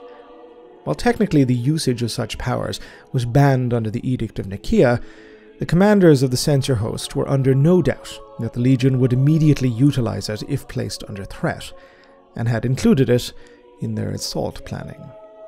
These commanders were painfully aware that this was merely one of the potentially dozens of esoteric and paranormal defenses that the Thousand Sons could mount at any moment. The cult arcologies of the city were gigantic and could form perfect loci for defensive efforts. And as to what lay within the warren of buildings that formed the Old Quarter and other parts of the conurbation, no Terran official could warrant any suppositions. These issues with forming a planetary assault would have, under normal circumstances, necessitated a far longer period of planning, or a different configuration of the attackers, or sundry other applications of military logistics and strategizing. But we must remember one crucial aspect above all else when it comes to considering how the censure host began its opening gambits. It had been formed, originally, to be an honor guard under arms, not explicitly, at least, as a hostile military expedition in any real sense. Perpetrating an invasion in force was a last resort, an eventuality Legio Custodes' genetic programming forced them to consider in every situation they engaged with. Horus Lupercal, and to an extent Leman Russ, had manipulated the events to transform an escort fleet into an assault flotilla, and while the former had swelled its offensive capabilities with the addition of Sons of Horus Astartes, Warmaster pledged Excertus Imperialis regiments, and the god engines of the Legio Mortis, they were still ranged against an entire Astartes legion. While no efforts had been made, since they were not necessary, to conceal Prospero's capabilities, there was a significant difference in being able to ascertain the serving number of Prosperine Spire Guard to, say, accurately plotting out just what technologies the Mechanicum of Shao Arkad held in their underground fane, or just how effective the psychic might of the Thousand Sons would be should they decide to unleash it. In short, even supplemented by the War Master's forces, even with the auric might of the Legio Custodes, the anti-psyker specialities of the Silent Sisterhood, and the terrifying power of the Titans of the Ordo Sinister, the equation that was the balance of power was far too close to parity for any commander to be comfortable with. Typically, orbital invasions predicated themselves around numerical superiority as the absolute base element, all the better to eliminate the home field advantage possessed by entrenched defenders. This the censure host completely lacked, and that is before anything else was taken into consideration, such as the psychic powers of the Thousand Sons or that of their Primarch. While the censure host was making unimpeded progress towards Prospero, sustaining nothing in the way of delays, let alone losses, and was thus able to count on their arrival in full force, they nevertheless expected the enemy to quickly adapt to any outbreak of hostilities, counting not on the fact that they were seemingly arriving with total surprise on their side. And it was best they did, for the defenses ranged against them were formidable indeed, even for all their lack of preparation. At the pinnacle, figuratively and literally, was Magnus the Red, withdrawn in seclusion, but remaining the supreme authority over all that transpired under Prosperine skies. Outside of the Legion, but still beholden to Magnus, were Magus Prime Tacitus Proctor of the Arcadian Mechanicum fane, whose heresy technologica had been declared by Mars at the same time the censor of Magnus had been announced, Lucretia Elunarai, Seneschal Prime of the Prosperine Spireguard regiments, and Calvalar Ibranum, Princeps Warden of the Vigil of the Legio Xestobiax Titans, stationed planetside. While these latter were present in force, and were served as potent auxiliaries, the bulk of Prospero's might was absolutely maintained within the 15th Legion, there, in its vast majority, some 62,000 Astartes out of an estimated 80 to 90,000. The First Fellowship, indeed, were present in its entirety 9,000 Astartes, including the whole of the Legion's Terminator elite. The remaining eight fellowships varied in disposition, with only the fourth being severely underrepresented, a mere 200 Astartes, with the rest off world abroad across the galaxy. Outside the bounds of the fellowships, the Order of Ruin possessed 1800 Astartes and nearly 800 battle automata of the psychically sensitive Castellax Achea pattern. The Order of the Blind were a round 888 Astartes withdrawn from their secretive operations galaxy wide, and the Order of the Jackal supplemented their legion with 604 Astartes that could be withdrawn from their ceremonial and practical legion management duties.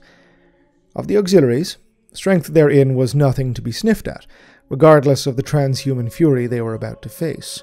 The Spire Guard counted 85,000 soldiers under arms, a combined arms force arrayed along standard Excertus Imperialis lines but considered within its upper echelons in terms of training, quality of equipment, and discipline.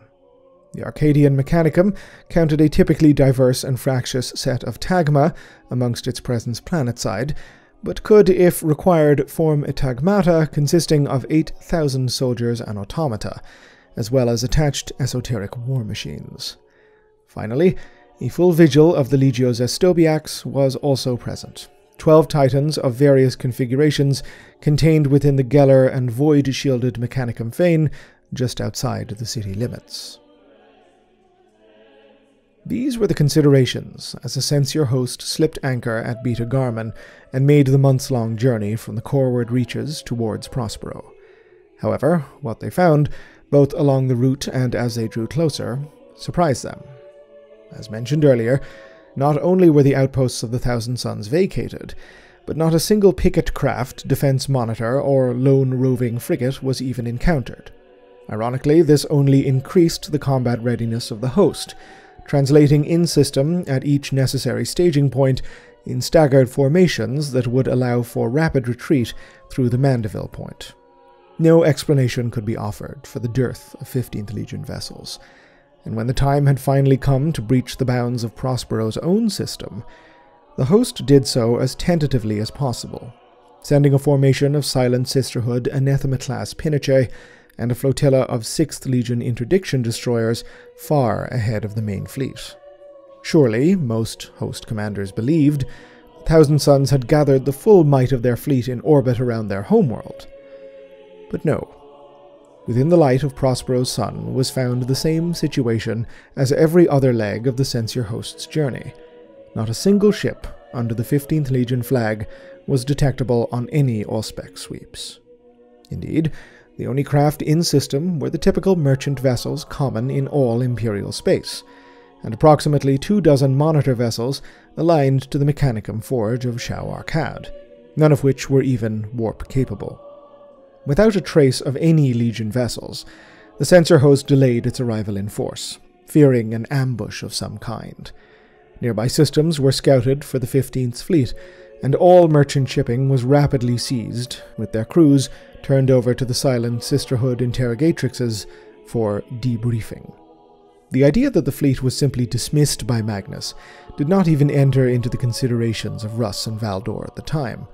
For what possible reason could there be for such a decision? One wonders what these august figures would make of it to know that even 10,000 years later, the reason for this is still a mystery that weighs heavy upon those who chronicle it. All due caution was paid to the possibility that, through means either mundane or arcane, Magnus had disguised his fleet's presence. The Mechanicum ships, whose commanders were all Prosperi natives, were rapidly seized by 6th Legion boarding actions, the Wolves moving professionally and fairly bloodlessly to capture their crews intact. While no match for the battleships of the host, these craft were deemed both a threat of note enough, due to their macro cannon batteries, that they could disrupt landing operations, but also for the potentially sensitive information their crews could be aware of. One such capture, that of the monitor sloop Tempest, is often highlighted by those who seek to criticize prevailing opinions of the wolves' rather bloodthirsty nature. Only 64 members of the ship's crew were killed in her capture, and only one Astartes was lost on the Imperial side. Ironically enough, the first casualty of war for the entire burning of Prospero on those who went under the Emperor's flag. A single wolf was slain by the ship's captain, who himself was dispatched along with the entirety of the bridge crew subsequently. The remaining personnel on board were informed by the attackers that they were to surrender, or all life support would be immediately turned off. The pattern was repeated system wide, with all non censure host aligned ships being immediately seized. Unfortunately for the commanders, the Mechanicum appeared to be just as in the dark as they were. None of the surviving Magi were capable of offering any explanation as to the disappearance of the Thousand Sons fleet, never mind their surprise at seeing themselves being captured by those who were apparently on the same side as them. With no choice but to act, Russ gave the order for full fleet translation. First came the heavy cruisers and the battleships, spreading out across the Prosperine orbital reaches and neutralizing its satellite communications network and weapons platform arrays, although the latter proved to be far less of an issue than anticipated. Not a single shot was fired in return as the platforms were sundered from the skies. The transport barks and Titan macro conveyors translated in shortly thereafter, directly into high anchor. Prosperine space had been seized in the matter of a few hours. The censure host was in complete and uncontested control of the orbital volume. That an imperial planet, and a legion homeworld no less, had fallen in such time was unthinkable, a travesty and a tragedy in kind, all that defensive artifice of imperial genius, that it could be stripped aside so easily, even by those who had made it.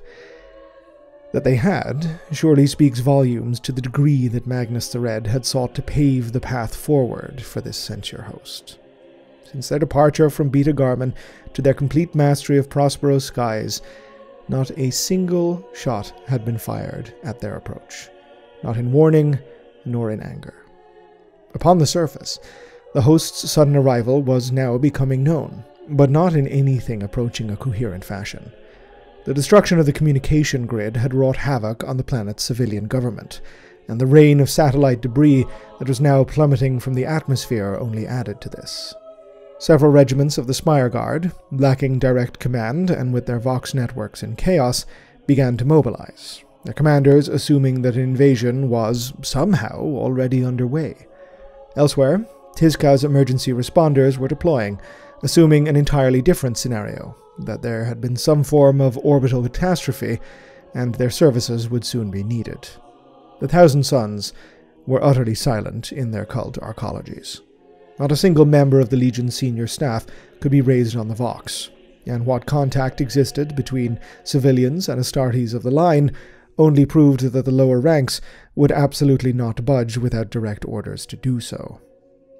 It has been suspected, based on writings recovered, that the Legion was now beginning to realize something was afoot, although if they were, they made no show of it. In orbit, Leman Russ took one final step to avoid the end he had, by some estimates, already concluded would occur.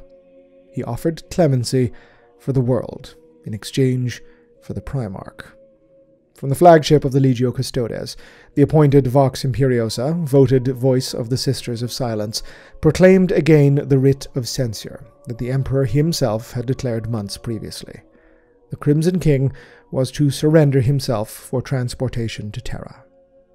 The communique was delivered on all bands civilian, military, and astropathic. There was no response. Russ's ire began to build. He is recorded to have spent a standard hour pacing the bridge of his flagship, fury kindling, requesting updates from his master of Vox repeatedly, only to be told the same each time. There was no response. Valdor raised the Primarch, cautioning him against rash action and requesting that Magnus be given more time, as the censure proclamation was obviously one of great import. There was not. There was no word of resigned surrender. There were no pleas of forgiveness. There was no staunch resistance or hot headed hostility. There was not even acknowledgement that the fleet was even there. Russ had had enough, and Prospero began to burn. To any who may believe that the appellation burning is a poetic one, let me disperse any notions thus forthwith. The literal burning of Prospero began as soon as Russ gave his command. From the bowels of the Sixth Legion fleet came a barrage of the world killer weapons of Beta Garmon. Viral cascades emulsified all biological life upon the planet, while land strikes ignited gaseous aftermaths, creating firestorm deluges that incinerated whole continents. The verdant wilderness of Prospero vanished in fire and ash, a biosphere so redolent of old Earth, now lost to the punitive fury of Leman Russ and his wolves. It only took an hour. Yet, when augury suites scried the burning world, one thing was incontrovertible. Tizca had survived, unblemished, the sole area unscathed in a world aflame, and doing so under a shimmering aegis of psychokinetic force. Clearly, at the last instance, the rage of the Sixth Legion had been detected by the Thousand Sons, whose adepts had rushed to raise their unique shield above the capital. In doing so, almost ironically, they had damned themselves even further. Whatever their desire to protect their city, their home, their civilians, they had done so through clearly arcane means. Not even a Gloriana class battleship's shields could have withstood the bombardment that rained down on Prospero. Here, then, was evidence incontrovertible that the 15th Legion shared their father's crimes, that the Emperor's Edict of Nicaea had been truly violated, and before the watching eyes of those who bore the Magisterii Imperator, too. It seems so petty a thing, at this juncture, to have guilt pronounced upon those who were literally enduring an orbital bombardment for crimes they had not even known they were accused of, but such are the curious twists of history. It is true, however, that up until the survival of the metropole of Tizca, it had not been proven that the Thousand Sons yet continued to utilize their powers. Observing the shield from orbit, Russ and Valdor had been handed evidence entirely to the contrary. It had, of course, always been assumed that no orbital attack would scour the planet completely of the Legion. Exterminatus can be, oddly enough, an imprecise tool within the Imperium's arsenal, especially when the Legiones Astartes are concerned. Russ and Valdor managed to correctly assume what Horus Lupercal did not, years later, at Isstvan III, although both would be stunned by just how many of those they had subjected to the punitive bombardments had managed to weather them. The censure host now faced not a punished legion reeling from an attack unexpected, but a resolved and dug in opponent whose numbers were almost exactly one to one with their own. The bombardment had only served to set the defenders' home ablaze. It had not reduced their capabilities one iota, something the sensors of the fleet were now clearly detecting as the Prosperine Spireguard rushed to their fortifications around the Acropoli of Tizca, unfurling defense lasers and establishing barricades and readouts. Of the Thousand Sons themselves, however, still nothing was seen. The orbital strikes had, of course, not accomplished nothing. In the mountains surrounding the city, lance strikes had disabled many of the orbital and air defense batteries, unprotected by the shield as they were, and had set avalanches of snow and rock plummeting into the civilian quarters of Tizca. The Valpurine Sea had likewise endured punishment that had sent tsunamis to pound the coastal quarters of the capital, as well as clouds of scalding mists from superheated water boiled by lance beams. As the Spire Guard were rushing to defend against what was now clearly an invasion. They had to battle their way through crowds of panicked, fleeing civilians, as well as aid the overwhelmed civil defense units in coordinating evacuations and crowd control. The Legion was still nowhere in sight, and though they were clearly aware of an invasion owing to the raising of the Kinney Shield, their silence and that of Magnus only worsened matters as civilian government order completely broke down, bereft of the leadership they had come to rely on from the Astartes. Chaos was reigning, and while the Spire Guard were engaging in admirable efforts to mitigate it, the situation was only growing worse. No word, likewise, could be raised from the Mechanicum. Their forge fane was a subterranean one, but it was located outside of reach of the shield. What surface facilities it had once borne had simply vanished, scoured from the earth by the guns of the host. All Strategoi officers aboard the fleet advocated an immediate drop en masse to Tizca itself. The destruction wreaked by the bombardment rendered all landing zones outside of the city useless, not to mention that any army would then have to contend with the walls of the metropolis and the still very much active Kinney Shield. Russ, however, gainsayed part of this order. He had, by all accounts, sworn a form of oath that he and his wolves would be the first boots on the ground. Despite the protests of all other host command officers, including Valdor, Russ ordered that all non Astartes combatants of the Censure host remain in orbit until he and his legion had established a beachhead, and immediately set about gathering the might of On, his legion's first company, and the most bellicose of his assault cadres for an immediate landing in force, this consisting of warriors of the 2nd, 3rd, 8th, and 12th companies. At 0758 local Tizcan time, on 743004 M31, the first 6 Legion aircraft broke the atmospheric boundaries of Prospero. In a fashion perfected by the Wolves for aerial assault of dug in enemies, their approach dive was taken at such a speed and descent angle that it would have literally killed unaugmented humans, with the aircraft leveling out of the dive over the still boiling Valpurine Sea, mere meters above the angrily tempestuous waves, slamming ramjets to their limits as they burned towards the Tizcan shoreline.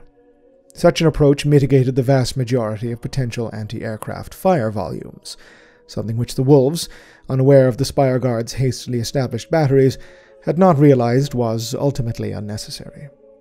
The response that came from the Prosperine was in the form of scrambled air interdiction fighters, Arcadian patterned Lightning and Thunderbolt aircraft from the fields that had been protected by the Tizcan Kinney Shield. The pilots, brave as they were, had of course never been called upon to face the Legiones Astartes, and followed standard engagement protocol with presumed enemy dropships. Namely, that they presumed them to be ill equipped to defend themselves.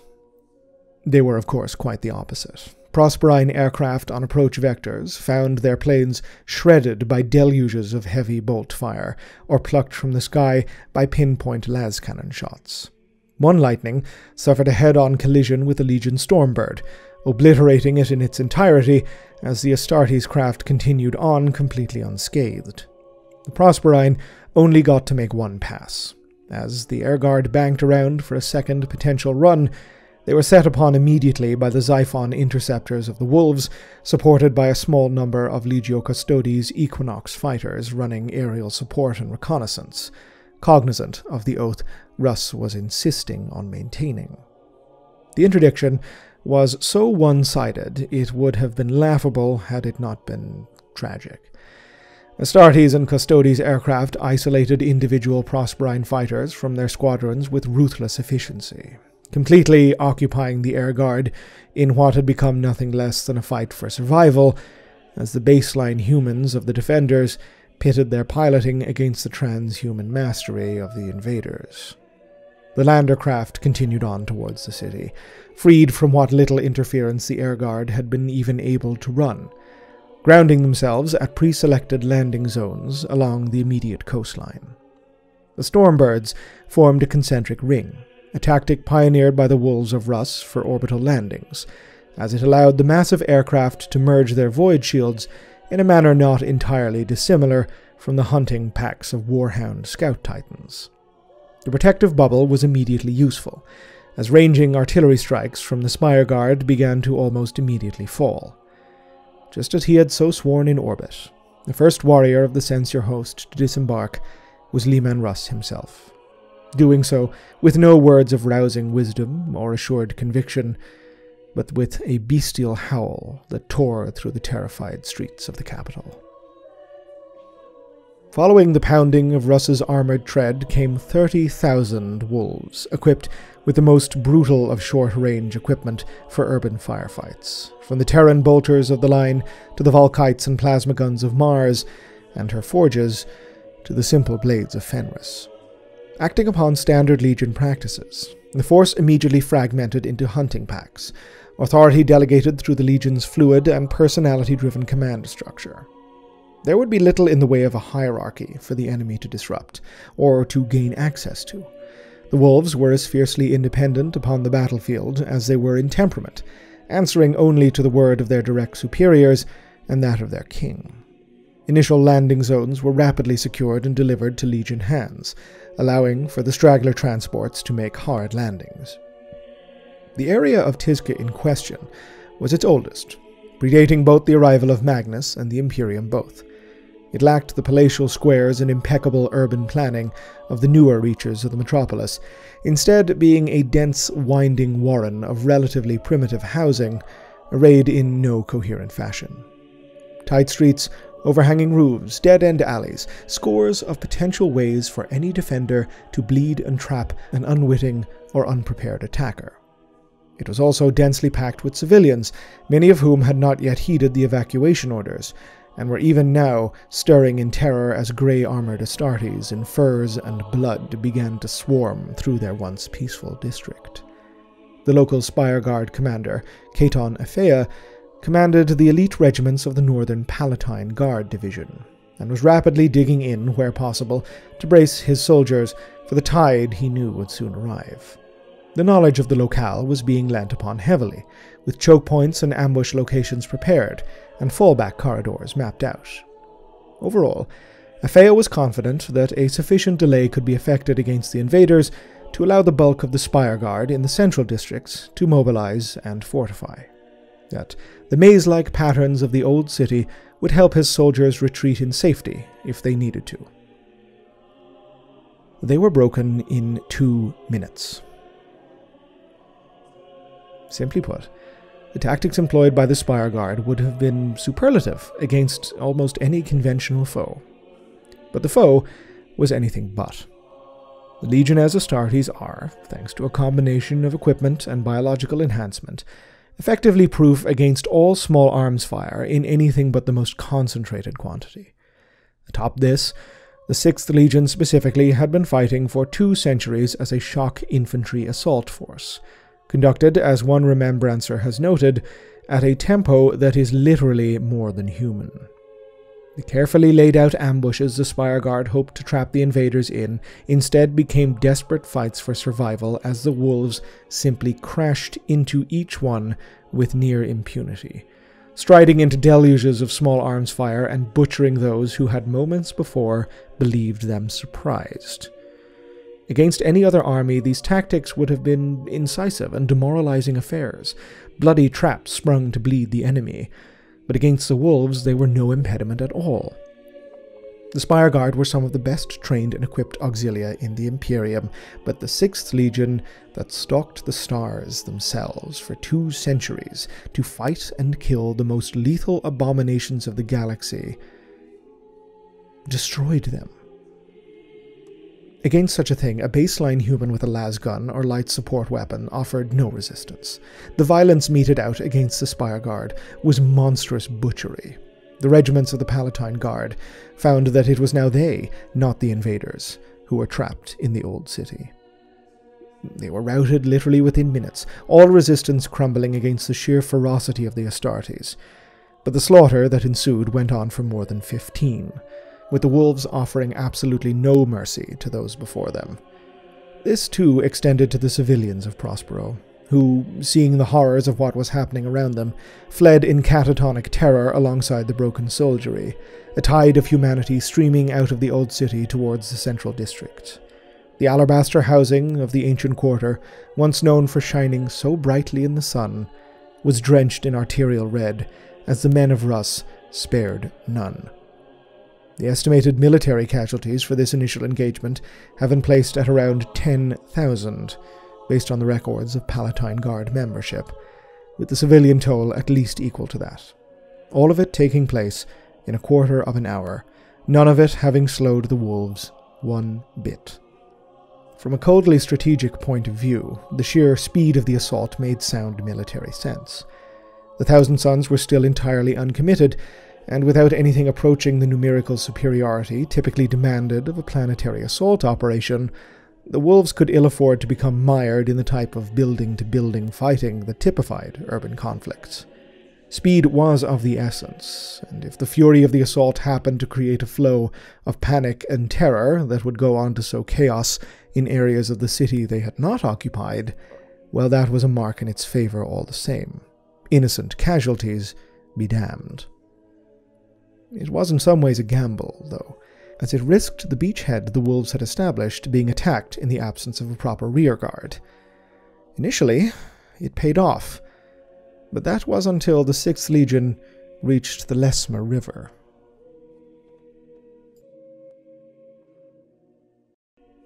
Stretching from the coastal areas where the Sixth Legion had made planetfall, all the way to the fringes of the Central District, the Lemsa River was the demarcation line, municipally and geographically, for the old city of Tizca. It was a perfect defense cordon, both for anyone seeking to halt the advance of an invading army, and for the invading army themselves to resist what they were assured would be an inevitable counterattack. Ironically enough, considering the almost contemptuous ease by which the wolves had thus far dispatched the soldiery of the Spire Guard, the resistance would come from other baseline humans, members of a regiment of Imperial Auxilia known as the Magdan Free Corps.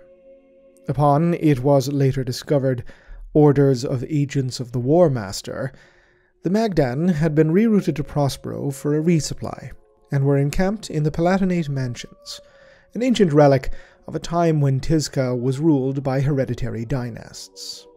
The Free Corps hailed from one of the first worlds brought into compliance following the Great Crusade's initial pushes from the Sol system.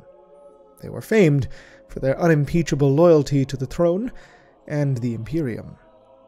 As with all upon Prospero, the Free Corps were utterly unaware of the unfolding catastrophe and their place within it, but unlike the Spire Guard, they had plenty of combat experience alongside the forces of the Legiones Astartes. Neither did the commanders of the censure host know of the presence of the Free Corps, having been uninformed of their quartering upon Prospero by the intelligence provided by, again, the forces of the War Master.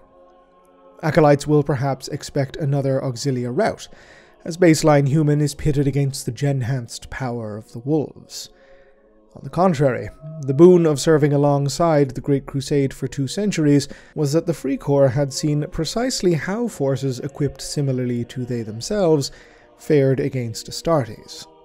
Instead of attempting to futilely meet them in open combat, human versus transhuman, the Magdan instead sought to leverage what weaponry they had at their disposal that they knew would stand some chance against power armor. As the wolves slaughtered their way through the remaining Spire Guard infantry on the banks of the Lemsa, Magdan Malkador battle tanks took positions in the ornamental gardens of the Palatinate, churning priceless flora under fast moving treads. A concentrated barrage of high explosive shells tore into the wolves across the water. The Sixth Legion's advance was, here, halted. As the wolves of Russ sought cover from the firepower the Magdan were displaying, having roved far ahead of any of their support armor or heavier weaponry, as they glutted their bloodlust on the fleeing Spire Guard. Elsewhere in the city, however, the Sixth were still pressing forward at a terrifying pace. Before the Acropolis Magna, the sagas of Fenris first record Russ as engaging in combat against the masses of terrified civilians and broken auxilia that were attempting to gain access to the relative safety of that old fortress.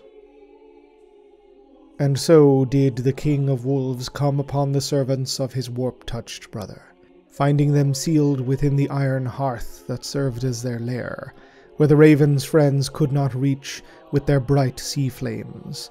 The ring breaker of the sixth took hold of the hearth's maw, his mighty thews straining at the effort, and it pried asunder, breaking the jaws apart. Across the smashed gullet of the fortress, the steed of midnight, the sons of Fenris, came howling for the blood of the foe. And within the span of heartbeats, there was left only food for the crows. Looking upon the work of his children, the broken corpses of the foe, the Wolf King judged it well and good. What the poem rather floridly describes is the massacre of the Acropolis Magna. Such was the press of civilians outside that the guns of the fort were unable to be turned by its defenders upon the wolves rampaging through the citizenry of Tizca, and once the Primarch had breached the gates, apparently bodily, this hesitation devolved into panic. The Spire Guard pummeled the crowds with high velocity rounds in a vain effort to stymie the advance of the Astartes.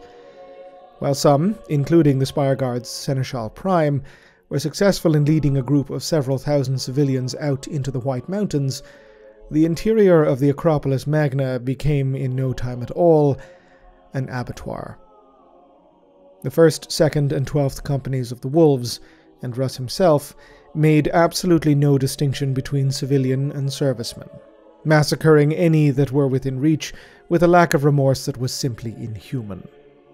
Several bitter last stands occurred, where what units of the Spire Guard that had not succumbed to sheer terror sold their lives as best they could against the invaders.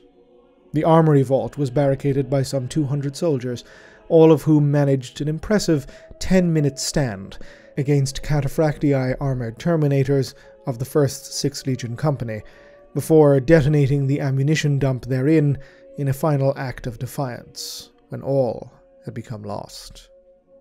The surprising restraint that the 6th Legion had shown in its capture and interrogation of orbital vessels had been utterly discarded. These were predators, loose amongst helpless livestock. Beyond the Magdan Free Corps, they had faced no opposition worth noting, nor had taken any casualties worth mentioning, and yet they were inflicting unto Imperial citizenry, innocent ones to boot, atrocities reserved previously for those who had knowingly defied the Emperor's writ. Death came for all who stood before them, inexorable, violent, and pitiless. The Sixth Legion were unopposed in the City of Light. The air guard had by now been utterly demolished. No spire guard resistance worth noting yet remained. Heavy ordnance, now finally being landed by the Legion's other companies, took up an artillery refrain, shelling sites of cultural importance as they waited, along with now all of their consolidating brethren, for the emergence of their true foes, the Thousand Sons. With the fall of the Acropolis Magna, the Sixth Legion now controlled Old Tizca in its entirety. The Spire Guard remained only as pockets of isolated units yet to be overrun by Legion forces, and in the Mansion's Palatinate, Sixth Legion armor, Predator and Sicaran battle tanks, engaged the Magdan Free Corps in punishment for its earlier resistance, turning the forests and gardens of the Mansions into an all out armored engagement, and depriving the Corps of any ability to link up with the Thousand Sons if and when they emerged. The Magdan fought where they could, pleading with the wolves over all Vox channels for a ceasefire and talks, but these were, predictably, completely ignored. Likewise ignored were calls from the remainder of the censure host still in orbit. Constantin Valdor repeatedly hailed the Wolf King with requests to land the rest of Imperial forces, only to have these rebuffed by the truculent Primarch the wolf still yet hunted for any sign of his brother and his legion. Whether or not this was done to satisfy Russ's initial oath, fulfilled now by his being the first boots upon the ground, or be it pride or tactical prudence, all is unclear. Certainly, there is a lot to be said for an invader not showing their full hand, so to speak, but it is also not unheard of for the ego of the Wolf King to dictate how he comported his campaigning. Regardless, what is certain is that the drawing out of the Thousand Sons was clearly Russ's primary objective at this point in the conflict. Scholars have posited that the butchering of the civilian population was simply a part of this, although one considers it gauche not to acknowledge the heinous barbarism inherent in such wanton, feckless brutality. Certainly, the Wolf King did not wish to force entrance into the fortified cult arcologies if he could help it. Much better to draw the Fifteenth out into the open and away from their arcane edifices, for who could say what esoterica lay within, waiting to be unleashed upon a hapless intruder? The wolves, however, had no alternative at this point but to continue their relentless forward advance towards these arcologies, as no enemy was yet presenting itself. What resistance remained was scant in the extreme, taking the form of a family attempting to defend their property with ancient heirloom firearms. None, of course, lived beyond their initial defiance. Any Prosperine who defied the wolves in any capacity was immediately and mercilessly executed.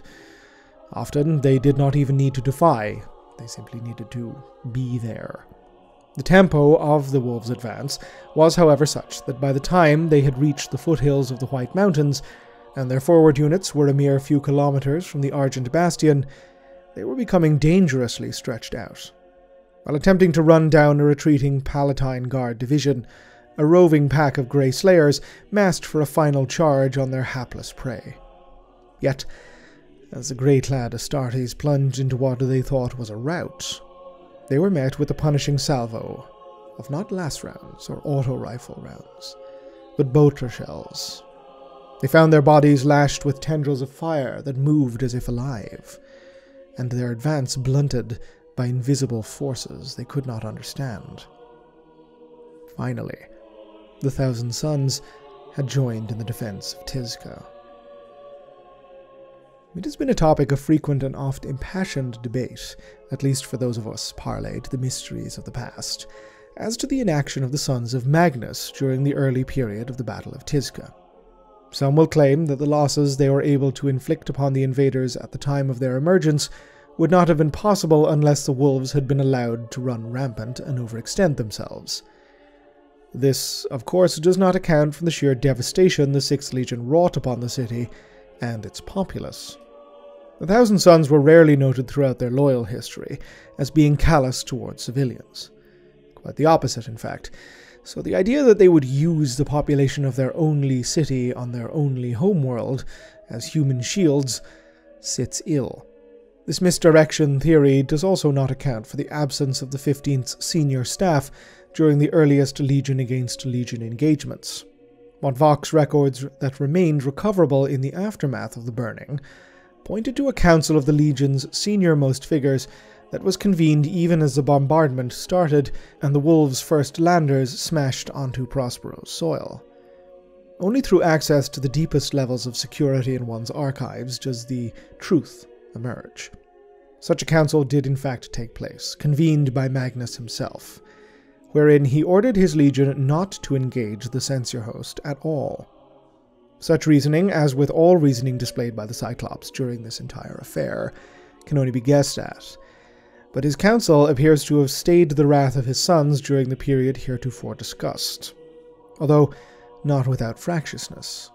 The captains of the Fifteenth were sharply divided upon the matter, one made all the more pressing as visions and reports of massive civilian losses reached them within the depths of Magnus's great library. The desire to defend their homeworld warred with their loyalty to their Primarch in a way such bonds had never before been tested, locking the leadership into an intense and emotional debate. Ultimately, a cabal of captains led by First Librarian Azek Ahriman revolted against the Primarch's decree, ordering a full mobilization of the Legion, cults and fellowships both, against the censure host, and abandoning the dissenters within the Great Library to await the coming of the wolves. The scope of the power wielded by the 15th Legion would become immediately and severely apparent. Their emergence was one from all angles, circumventing the lines the wolves had drawn by powers unknown to the censure host, but of course etheric in nature. Crushing ambushes were now inflicted all across Tizca as the Thousand Sons appeared essentially from thin air to hit the wolves precisely where maximum damage could be inflicted.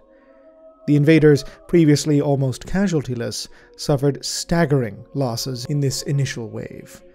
In the central districts, the 3rd Company of the 6th lost some 200 Astartes when the Thousand Sons used telekinetic powers to demolish a building they were clearing of retreating Spire Guard.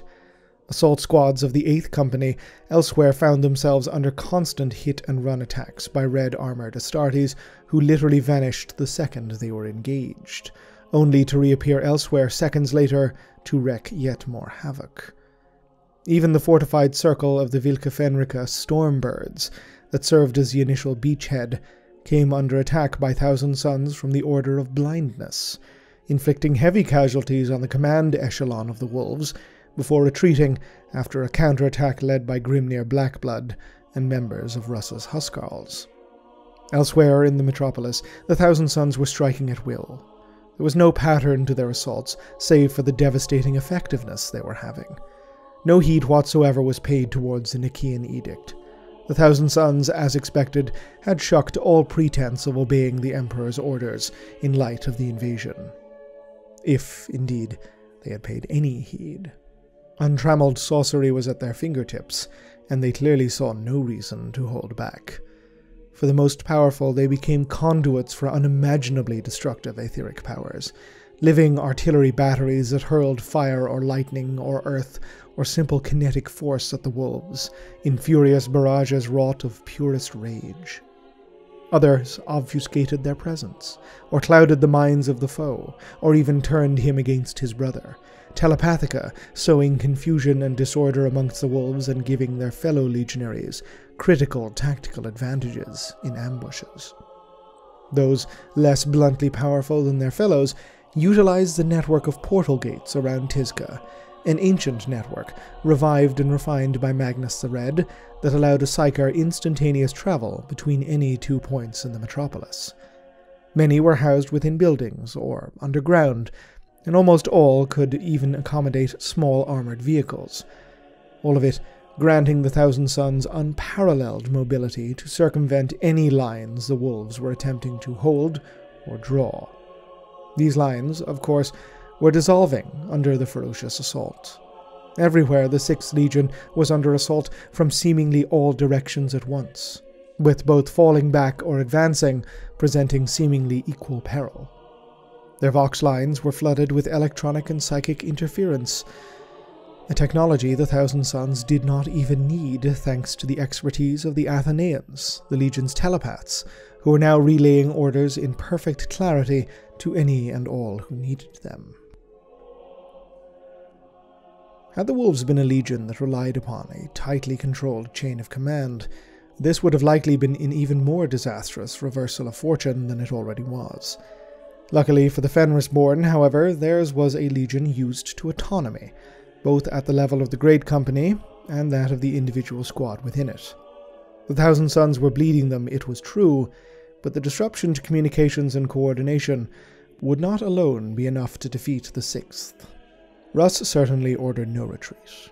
Quite the opposite. He reaffirmed with what commanders he could raise on Vox networks that their positions must hold, and that the momentum of the invasion could not falter or be handed to the Thousand Sons. What could at least be established was that the Wolf King had succeeded in one of his primary objectives. He had, in fact, drawn out the 15th Legion, and despite the continued absence of their Primarch, this was, in its own way, progress despite the toll it was taking on his wolves. His front line was, however, in imminent danger of collapse. The reserves, or what had passed for them in a legion as aggressive as the Sixth, were summoned for a push by Russ himself that would lead towards the central districts of the city, targeting the temple arcologies of the Pyre and Corvide cults. If these could be captured, it would allow the wolves to claim a perfect forward operating base for an assault on the Great Pyramid of Photep in Oculum Square, within which Russ was convinced his brother yet dwelled. The arcologies, however, would be no mean feat.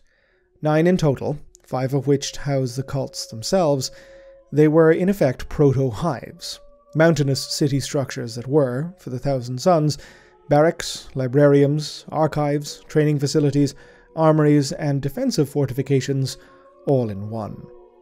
The majority of the city's population was housed within eight of them, and, should an emergency strike, their cavernous lower levels could shelter many, many more.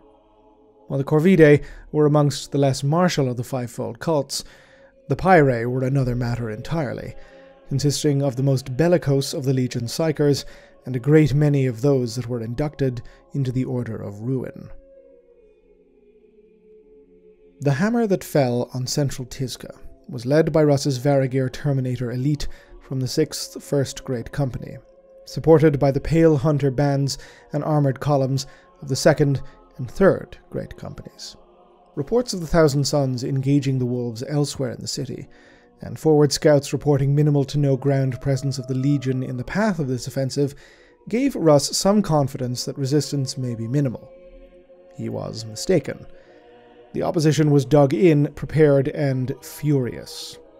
Elite divisions of the Prosperine Spire Guard, fresh from defensive positions within the Temple Arcologies, had fortified all approaches, learning from the blood spilled in the Old Quarter to throw only their heaviest weaponry at the attacking Astartes from the safest and most defensible positions available. The real game changer for the Auxilia were, of course, the presence of the Thousand Sons. Many of the units encountered by the wolves bore the same markings as those the scattered Vox logs had placed in other, further reaches of the city, causing confusion and angst amongst the wolves as to how such a thing was even possible, the Sixth being utterly unaware of the nature of how the 15th Legion was traversing their home turf.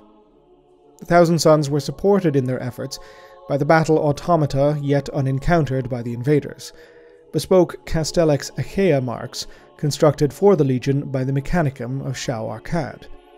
Augmented by psychically sensitive crystalline cortex matrices, these Castellax were controllable by almost any psyker within range, and possessed a certain amount of free will themselves, becoming in effect far more responsive and lethal than the cruder marks employed by those bound by strict Martian dogma.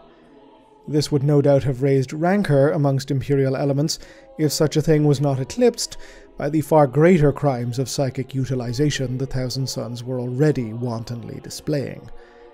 Regardless, the automata were reaping a fearsome tally of kills amongst the attackers with their Mauler bolt cannons. This new front was now seeing the most vicious fighting of the battle emerge yet. Massive concentrations of Legiones Astartes and their supporting elements were clashing across a huge theatre. Such a conflict between Astartes had never before been recorded in Imperial history. Even the ferocity that the wolves have evinced during the redacted confrontation between them and the 12th Legion World Eaters was a skirmish compared to the destruction that both legions were unleashing upon each other. Russ committed over 20,000 of his Astartes to the push. The Thousand Sons more than met him in numbers, even before the force multiplying effects of their psyker talents were accounted for. Tizca was being torn asunder as erstwhile brother met erstwhile brother, and both sides tore into each other with all the hatred and pain of transhumans betrayed.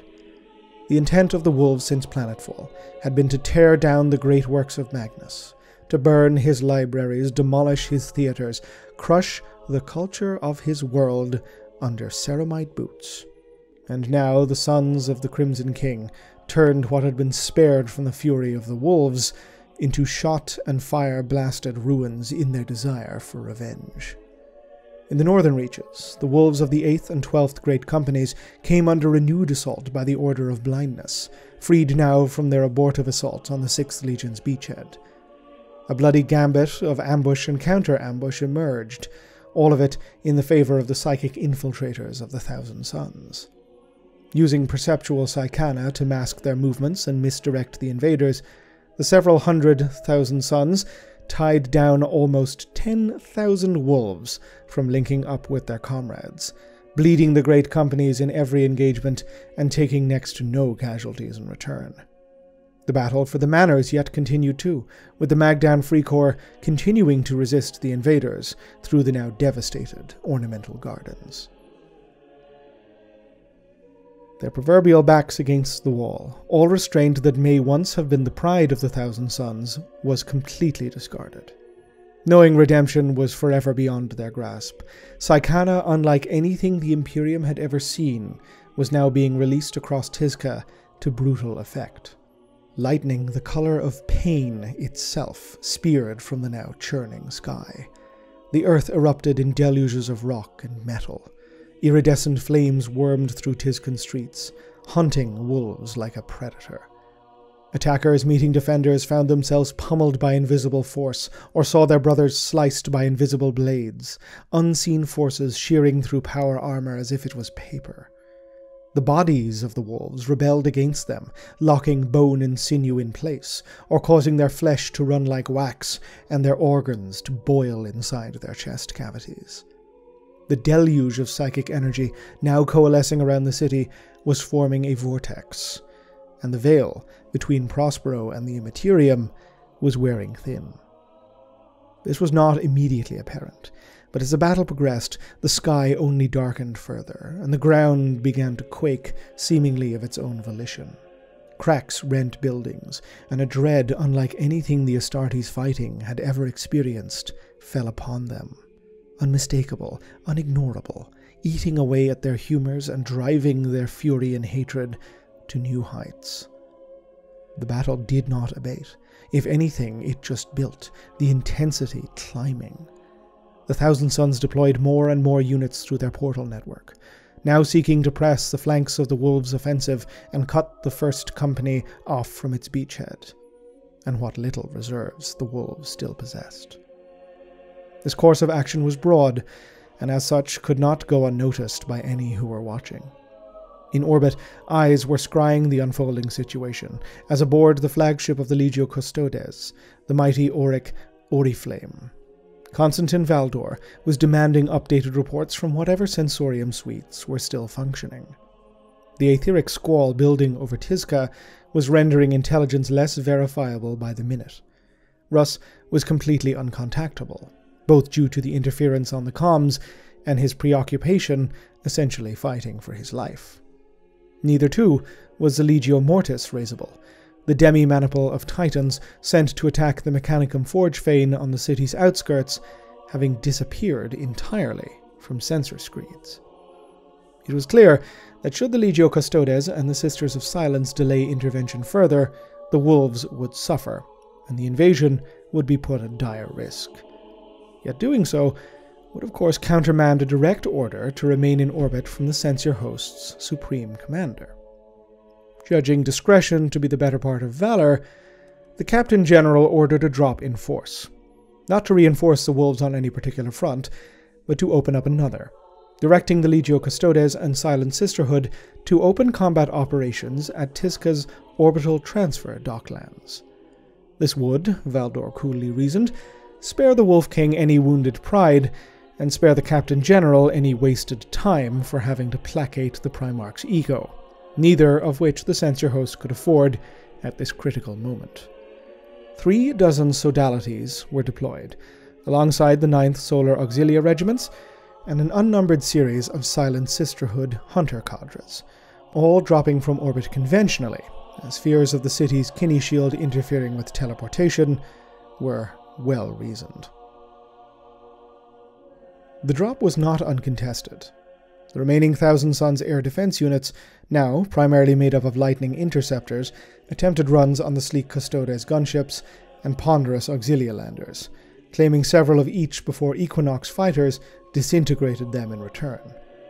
Over 1,000 solar Auxilia and several custodians perished in the planetfall, but those that survived moved swiftly to consolidate their gains.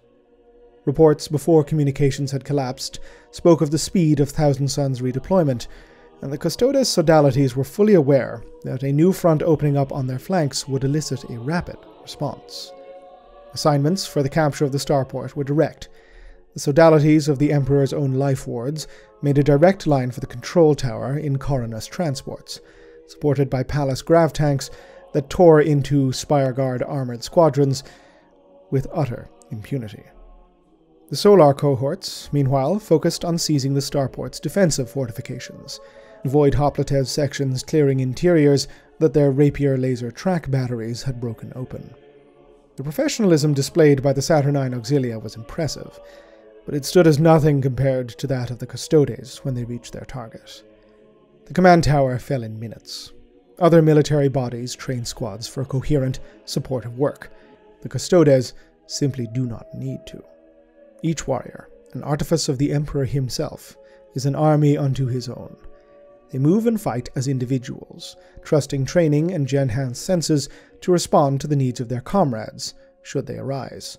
Where the Spire Guard had engaged the wolves, the result was butchery. Where they met the Emperor's Auric warriors, it was a similar route, but one conducted with a clean, detached professionalism that was monstrous in a completely different fashion. The Custodes were simply unstoppable. Not a single warrior fell in the capture of the Space Force. Until, that is, they faced Astartes' defenders.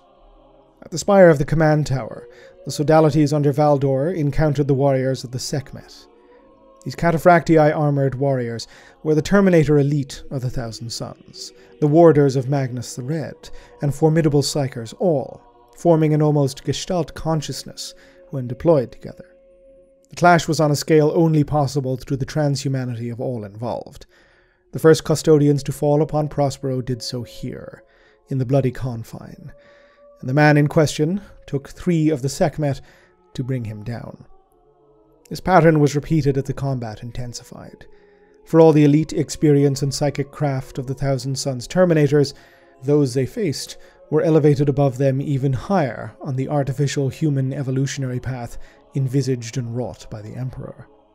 Each golden warrior that fell exacted four times that number in Sekhmet casualties. Their psyker talents were a potent force to reckon with, yet as the battle for the tower reached its pinnacle, the Terminators suddenly found themselves robbed of it. Summoned by the Custodes, the Null Maidens of the Silent Sisterhood, pariah blanks that stole the power of the warp from all around them, had arrived. And with this arrival, the fate of the Sekhmet was sealed.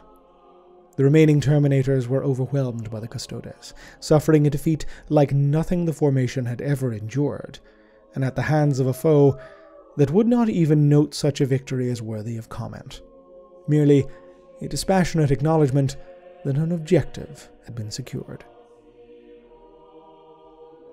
With the docks in Censure Host hands, Valdor delayed the orbital reserves not a moment longer. The remainder of the host's soldiery was ordered to land immediately and at full combat readiness, be they Silent Sisters, Legio Custodes, Imperial Auxilia, or Mechanicum. The Astartes elements, however, largely elected to remain for the Wolf King summons, this extended to not only the majority of the wolves still in Prosperine skies, but the contingent of sons of Horus Astartes that had joined the host at Beta Garmon.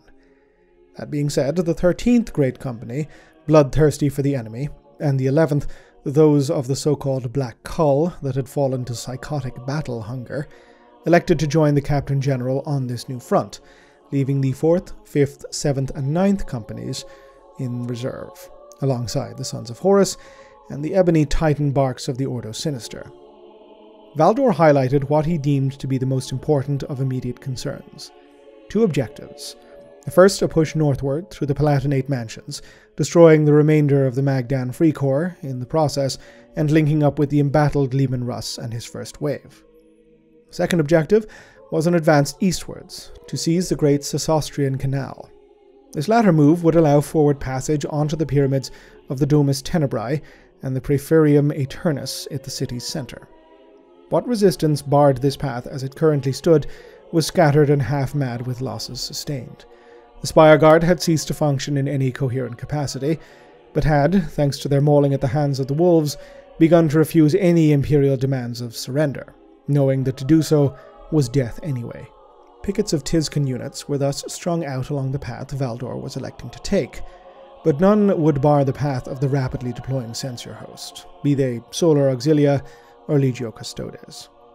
Valdor knew that the Thousand Sons would intervene, but as their Psykana gave them unparalleled mobility, their actions could not be planned for beyond reactionary retaliations if and when they emerged. Regardless, Captain General had laid out a course that would see another Imperial offensive drive straight into the city's heart, and it was his hope that this would bring about a swift and decisive end to the Battle of Prospero. Of course, would that it were so simple.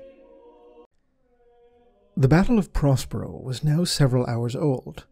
Local chronometers read 1209, Prosperine noontime, as Constantin Valdor's advance from the spaceport first began in earnest. It was, however, difficult to tell, as across the city it appeared for all the world that night was beginning to fall. The opening orbital bombardment that had torched Prospero's biome had thrown clouds of ash and smoke into the atmosphere. But beyond that, the unnatural pall of a building etheric tempest was forming above the metropolis of the 15th Legion. The Thousand Sons had no intention of letting the censure host gain the upper hand in the battle, and in their fury turned to arts darker than any they had previously wielded. Grimoires, research journals, and experiments buried by prudence or morality were thrown open again in a mad rush to capitalize on anything that might kill more wolves. Forbidden practices were now indulged in, the means being justified by the end they would hopefully accomplish. Costs be damned. In the templums of the Corvidae, ritual sacrifices of legion thralls and prosperine civilians were undertaken so that the adepts of the cult might be lent enough power to scry the immediate future, discerning Sixth Legion movements from the threads of potential realities spinning out of the Tizcan conflagration. In the arcology of the Athanaeans, similarly brutal arts were invoked, but this time on captured enemies. The telepaths of the Thousand Sons tore at the minds of captives to extract any remotely useful intelligence they could. No potential route was closed to the Legion. Magnus remained silent within the Pyramid of Photep, and the leadership, under First Librarian Ahriman, was actively encouraging the usage of techniques, arts, and skills previously denied to their subordinates, or even themselves.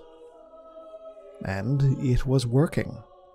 Both the Corvidae and the Athanaeans were able to supply the fellowships and circles of their legion currently engaged with detailed strategic information, which, in combination with Tizca's portal network, was allowing the 15th to run rings around the embattled censure host. The 3rd Terranic Auxilia, fresh from their landings at the starport, were, for example, completely surrounded by the Ninth Fellowship and almost entirely obliterated in a single engagement. A Custodes force of some 500 companions under Valdor himself was similarly ambushed, this time by a massive detachment of Thousand Sons Terminators and Legion Dreadnoughts of the Order of Ruin. While faring much better against a sudden attack than the Auxilia had, the conflict was nevertheless exceptionally brutal, and effected a significant blunting of the Captain General's advance against the Magdan Free Corps at the Palatinate Mansions.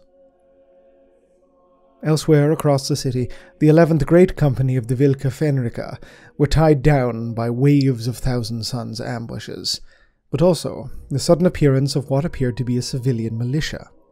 Whether these were volunteers or simply mind thralls slaved to the Thousand Son psykers in desperation, it is unclear. But the waves that crashed into the death kin of the Morkai served their purpose, depleting the ammunition reserves of the Great Company at the cost of thousands of lives every minute. Sixth Legion units had no effective counter against the Psykana of the Thousand Sons. The famous tenacity and bloodthirstiness was the only edge they yet retained in a fight that was now thoroughly even, even if approaching overwhelming odds. Leman Russ, Primarch that he was, could only be in one fight at once, the rune priests of the Legion, their own psykers whose craft had continued despite the Emperor's Nikaean edict under some form of ill defined Fenrisian cultural exemption, proved thoroughly outmatched by the magister savants of the Thousand Sons. What limited counters the shamans employed were brief respites, inevitably overwhelmed in short order by the defenders of Prospero, who, once they had identified enemy psykers, redoubled their efforts to dispatch them. The 15th Legion had drawn a defensive cordon around their templum arcologies that no amount of pressure from the censure host seemed to be able to crack at this time.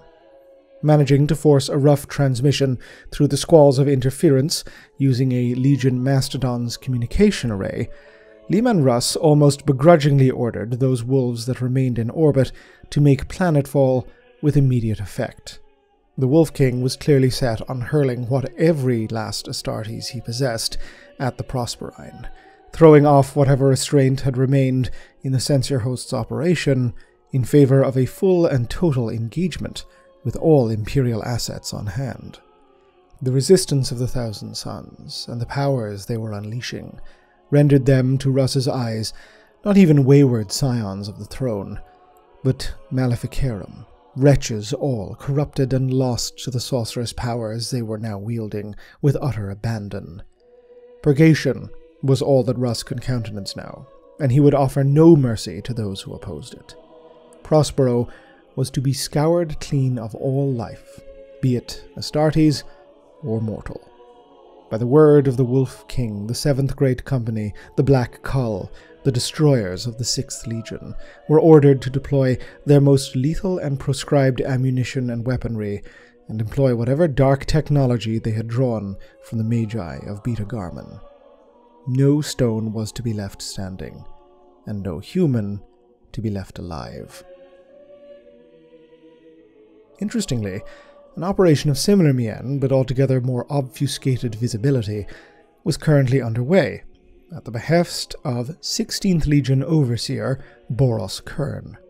The appearance of the Sons of Horus contingent at the Beta Garmon muster had made for a surprising addition, and one that was unknown previously to both the Terran and Fenrisian forces of the Censure host. Launching with the Vlka Fenryka reinforcements from orbit, the Sons of Horus deployed not to the front lines of the fight against the Thousand Sons, but to nominally pacified regions of Tizca, alongside their Chthonian auxiliaries. Boros Kern, his intent questioned by some within the host, stated that the course of the operation was to employ the Sons of Horus's famed adaptability to hunt 15th Legion ambushers that had been plaguing the advance of the wolves. And, given the casualties these ambushers had already reaped, few expressed anything beyond mild annoyance that such a large force of 16th Legion Astartes, some 5,000 in number, were required for such a task. Rather than seek out the Order of Blindness, as he had stated he would, Kern and the Sons of Horus instead began rounding up any and all civilian refugees they could lay their hands upon. Herded into massive, improvised pens, any who resisted were immediately and bloodily executed, or mutilated and left in prominently visible locations as a warning against other potential dissidents.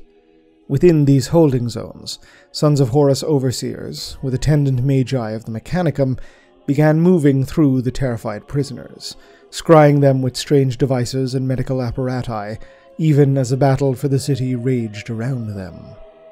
Those few that were selected by the Sons of Horus were shoved or hoisted bodily by Astartes into waiting sea green ships bearing the eye of the War Master, and transferred rapidly off planet to the orbiting cruiser that accompanied the 16th Legion expedition. Once this had been completed, the remaining refugees learned of their fate as artillery shells started falling in their midst, detonating bodies and buildings with equal abandon as the Sons of Horus sought to expunge all trace of their curious operation. That we even know of this is due only to the most fragmentary of records, as well as operatives from the Sigillite's later Knight Errant Investigative Division. This latter body, formed during the heresy years that would fast approach, hypothesized that since Prosperine humans had a startlingly high level of psychic genomics, some 10% of the population at early imperial estimate, the War Master was, through the chaos of the burning, extracting psychically sensitive humans for reasons known only to himself. Certainly, this theory holds merit, as during the heresy, the Sons of Horus, as well as the 17th Legion word bearers, made widespread use of mongrel cult divisions, amongst whose ranks dwelt a high number of, frankly, insane rogue psykers. Should these poor Prosperine civilians have been quietly exfiltrated to be part of some hideous traitor breeding program, whose works would only bear fruit years later, well, it speaks volumes to the degree that the War Master was already orchestrating assets for a conflict still gestating within his cankerous soul. As Russ was ordering the wholesale extermination of Tizca, due to the apparent descent of the Thousand Sons into sorcerous madness, Valdor too sought to unleash his most potent forces, albeit with a far greater degree of logical clarity to his decision making. However, by a twist of fate, some had been deprived from him. Upon managing to establish communications with the Custodes flagship, the Captain General discovered that the Ordo Sinister, the Psi Titans of the Emperor's secret Titan Legio, had already deployed, without any apparent orders, by their own merit to investigate the complete disappearance of the god engines of the Legio Mortis, who had themselves been deployed to investigate the Mechanicum forge fane of Shao Arcad that existed without the city limits. It appeared for all the world that this demi-maniple of the Legio, the War Master's most favored Titan Legion, had simply disappeared in the process. Whether or not this was due to some sort of sorcerous ploy, or that they had met their fates fighting against the Iron Vigil of the Legio Praesagius, was completely unknown, but it appeared that the Ordo Sinister favored the latter. Without the Psi Titans at his disposal, Valdor was forced to turn to the one remaining specialized force he possessed the Silent Sisterhood. Two options immediately presented themselves. The Captain General could spread the Null Maidens of the Sisters across the entire city, granting localized pariah anti psyker protection to the most Censure Host assets possible. Or he could form all their Hunter Seeker cadres, not currently engaged, into a spearhead to drive into the lines of the Thousand Sons in one incredibly potent thrust. He opted for the latter, reasoning that the former, while a decent option, left the precious pariah sisters open to fragmentary destruction. They were far too precious a resource to see winnowed away in any such fashion. He did, however, place a select number in nominal command of the spaceport to ensure it remained defended from the infiltrators of the Order of Blindness and to prevent such an important logistical transfer point from being denied to the host for potential withdrawal maneuvers. Valdor's primary purpose was, after all, bodyguard and life ward. He would never allow himself or any he commanded to be cut off entirely from the need of escape should that need arise. This did, of course, deprive many units of the wolves yet engaged of sisterhood support. They were now fully forced to rely on their bloody mindedness to continue the fight against the seemingly ever more dangerous Thousand Sons. The battles this created were, predictably, bloody and destructive in the extreme. The 11th and 13th Great Companies of the Wolves, combined to force almost 10,000 strong, were led into the southern districts of Tizca by the so-called Uplander Jarl, Torm Gudaric, believed to be the last surviving Terran of that rank remaining within the Legion. Arrayed against them was the great Vulperine Bastion, a fortress outpost that commanded the great Sesostrian Canal. Should that arterial fall, an ideal assault route to the central districts of the city would be opened up for the censure host, and both sides knew this supplemented by siege engineers from the Carinid Sentinels Imperial Army Detachment, the Wolves flung themselves at the Thousand Sons defenders of the Fifth Fellowship, unleashing Phosphex munitions specifically tailored to burn and melt Imperial ferrocrete. The living fire was battled in turn by Thousand Son sorcery, the Magisters of the 15th Legion using kine shields to contain the almost unstoppable substance or redirect it to their foes. Despite being outnumbered almost three to one, the defenders held fast, that desperation turning to resolve and spite as they laced the besiegers' positions with psychokinetic mines and aetheric lightning arcs, reaping a fearsome tally of wolves and caronids alike. This pattern was now one repeated throughout the city, as, largely deprived of anti-psyker measures owing to Valdor's maneuvering of the Silent Sisterhood, the attackers ground to a bloody stalemate against the fury of the Thousand Sons' defiance. In the Argent Bastion to the north, the second and third great companies had similarly encircled the Thousand Sons detachment, but were held at Bloody Bay. While atop the Sanctuary Mount, another force of Magisters were pulverizing the waves of Imperial auxilia that menaced them. The censure host attackers only holding due to the presence of Legio Custodes sodalities amongst them. Even the most forward elements of the wolves, under Russ himself having torn great wounds in the flanks of the temple arcologies of the Corvidae and the Raptora, were bogged down and unable to make any progress. The Thousand Sons knew none amongst them were a match for the Wolf King, their common sense easily overcoming any pretensions of pride. So instead of engaging the Primarch and his Varagyr directly, they opted for a blizzard of hit and run engagements through the Warp Portal network, in tandem with telepathic adepts assailing the forward censure host forces with illusions and phantasmic terrors. The Wolf King, despite his Emperor wrought senses, was caught in lures, directed to and fro from illusory engagement to actual ambush, with each of the latter claiming enough wolves to be bleeding the forward companies of vital manpower. It was, however, not so much succeeding as simply proving adequate. The Primarch was still a Primarch, and his most experienced wolves still amongst the deadliest killers in the galaxy. These actions were holding them, yes, but could only do so for so long, and the Thousand Sons knew it. As the Wolf King tore through each diversionary skirmish, the fellowships and circles of the 15th Legion hit the dogs at his heels with all they could muster, knowing time was ill on their side. Truly, the only real success made by either side during this stage of the invasion occurred on the grounds of the manors. The Magdan Free Corps yet held, largely thanks to reinforcements from the Thousand Sons. But the renewed assault they now fell under combined the forces of almost all Silent Sisterhood divisions present upon Prospero. Where the Magisters had previously been able to tear even Legio Custodes vehicles apart with raw mental aggression, their powers now failed them. Psychic fire sputtering to nothing, telekinetic barriers cracking, telepathic wards sundered. Such a concentration of sisters had never before been seen abroad across the galaxy.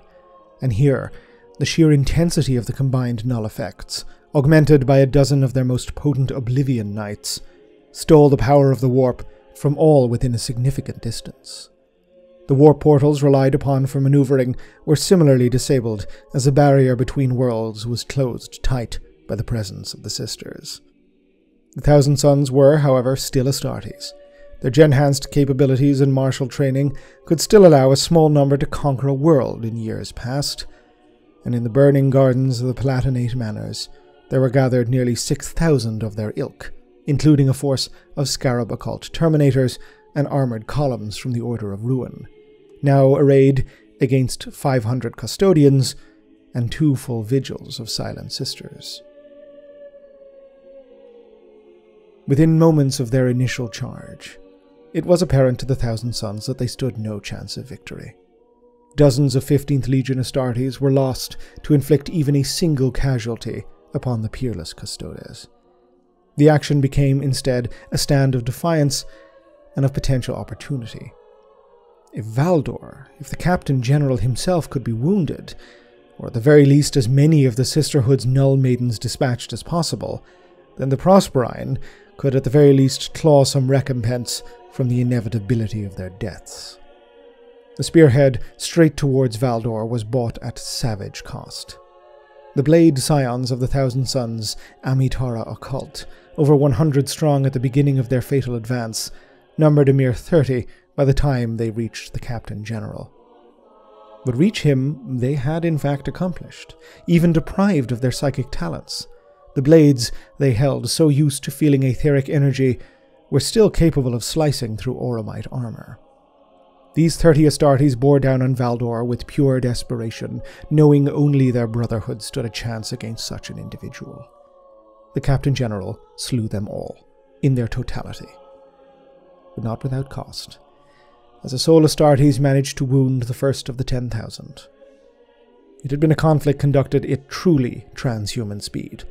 Mere minutes had seen the 6,000 Astartes that had charged the Legio Custodes force annihilated, but the Auric champions of the Emperor had paid for their victory. Scores of custodians had died, even their biology unable to overcome the wounds inflicted upon them by the rage mad Thousand Sons. Valdor himself was wounded, perhaps even more seriously for the censure host, some 500 of the sisterhood had perished. Despite all this, the Custodes continued to press forward, now turning their attention to what remained of the Magdan Free Corps, who, despite hours of resistance against the wolves, were completely wiped out by this new assailant. A route was now secured to the heart of Old Tizca, Valdor assigning hunter cadres of sisters to immediately move upon the district to rob the Thousand Sons infiltrators of their abilities that had allowed them to tie down the wolves of the Black Cull as well as the newly engaged Sons of Horus. What remained of the 15th Legion within this region was quickly dealt with, finally caught by retributive censure host elements, now releasing the wolves and the 16th Legion both for movements towards the central districts and Russ's ongoing push towards the Temple of Magnus. At this point in the burning of Prospero, Imperial estimates declare that the Thousand Sons had, despite their powers, lost some 30,000 Astartes, either to wounds too great to overcome, to combat deaths, or to capture, which, considering the censure host summarily executed all prisoners, was death. While the invasion force had taken similar number of casualties, theirs was a reinforcement pool much deeper to draw upon, and within territory nominally under their control had been established numerous field Medicae outposts for the wounded to be transported to.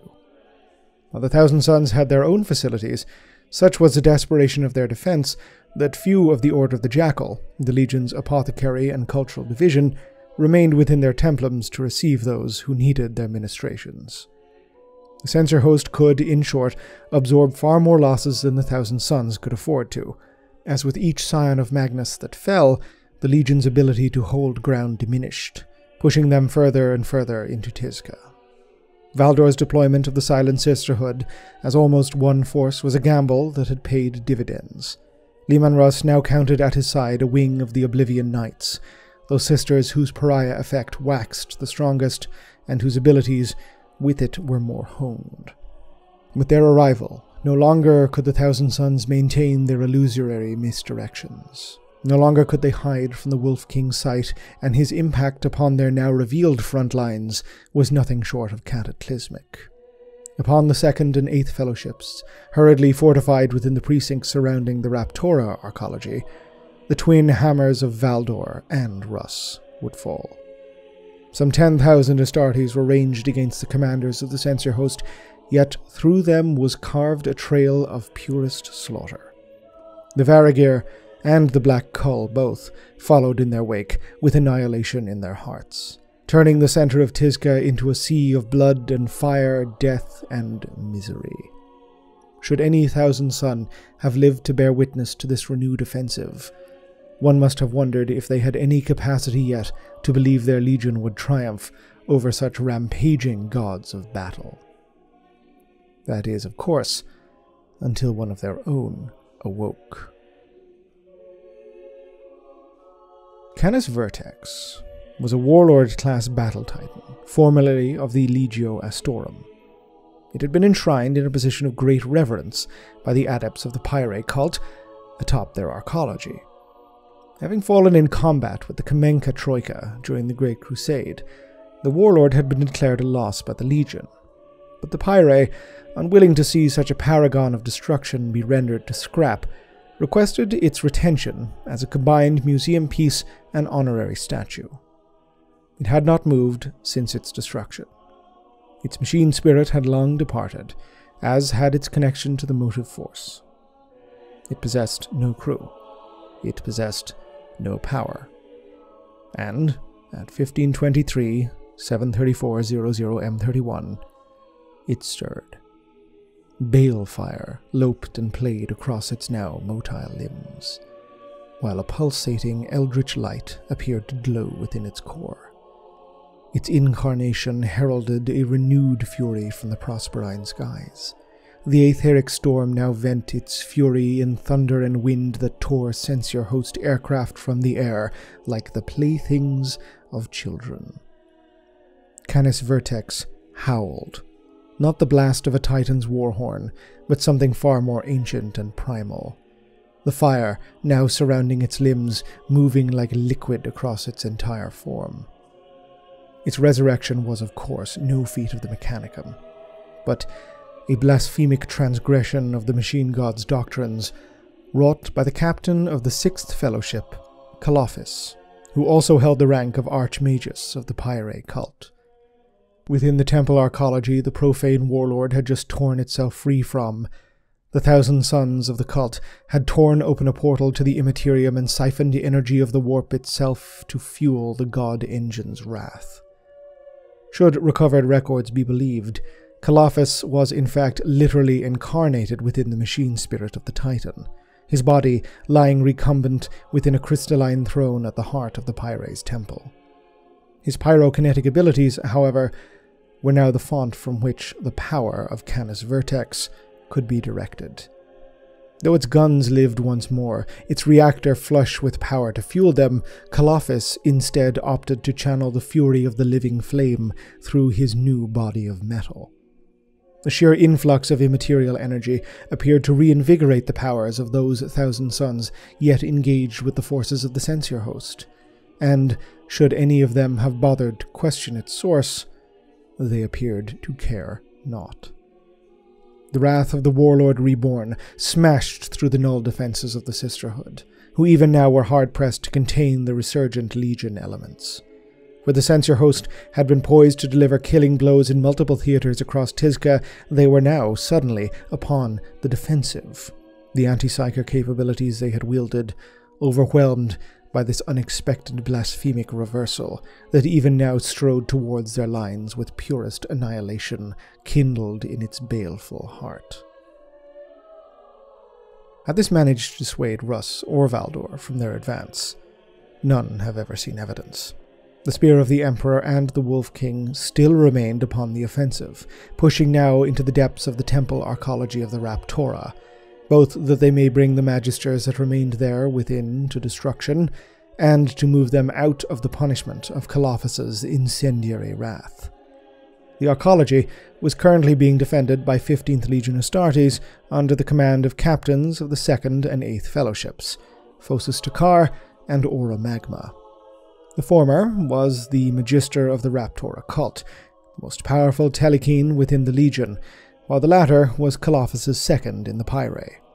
Both set upon their attackers with fury and power unbridled, Aura Magma's fire melting the armor of Varagyr Terminators to liquid, as Phosis T'kar bodily charged both Valdor and Russ, his kidney shield completely turning aside all munitions that spat at him as he charged as the second and eighth captains both engaged the lords of the Emperor's censure.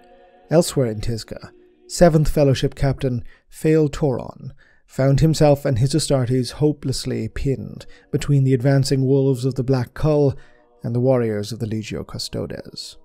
Of the 7,000 Astartes under his command mere hours beforehand, only 3,000 remained alive.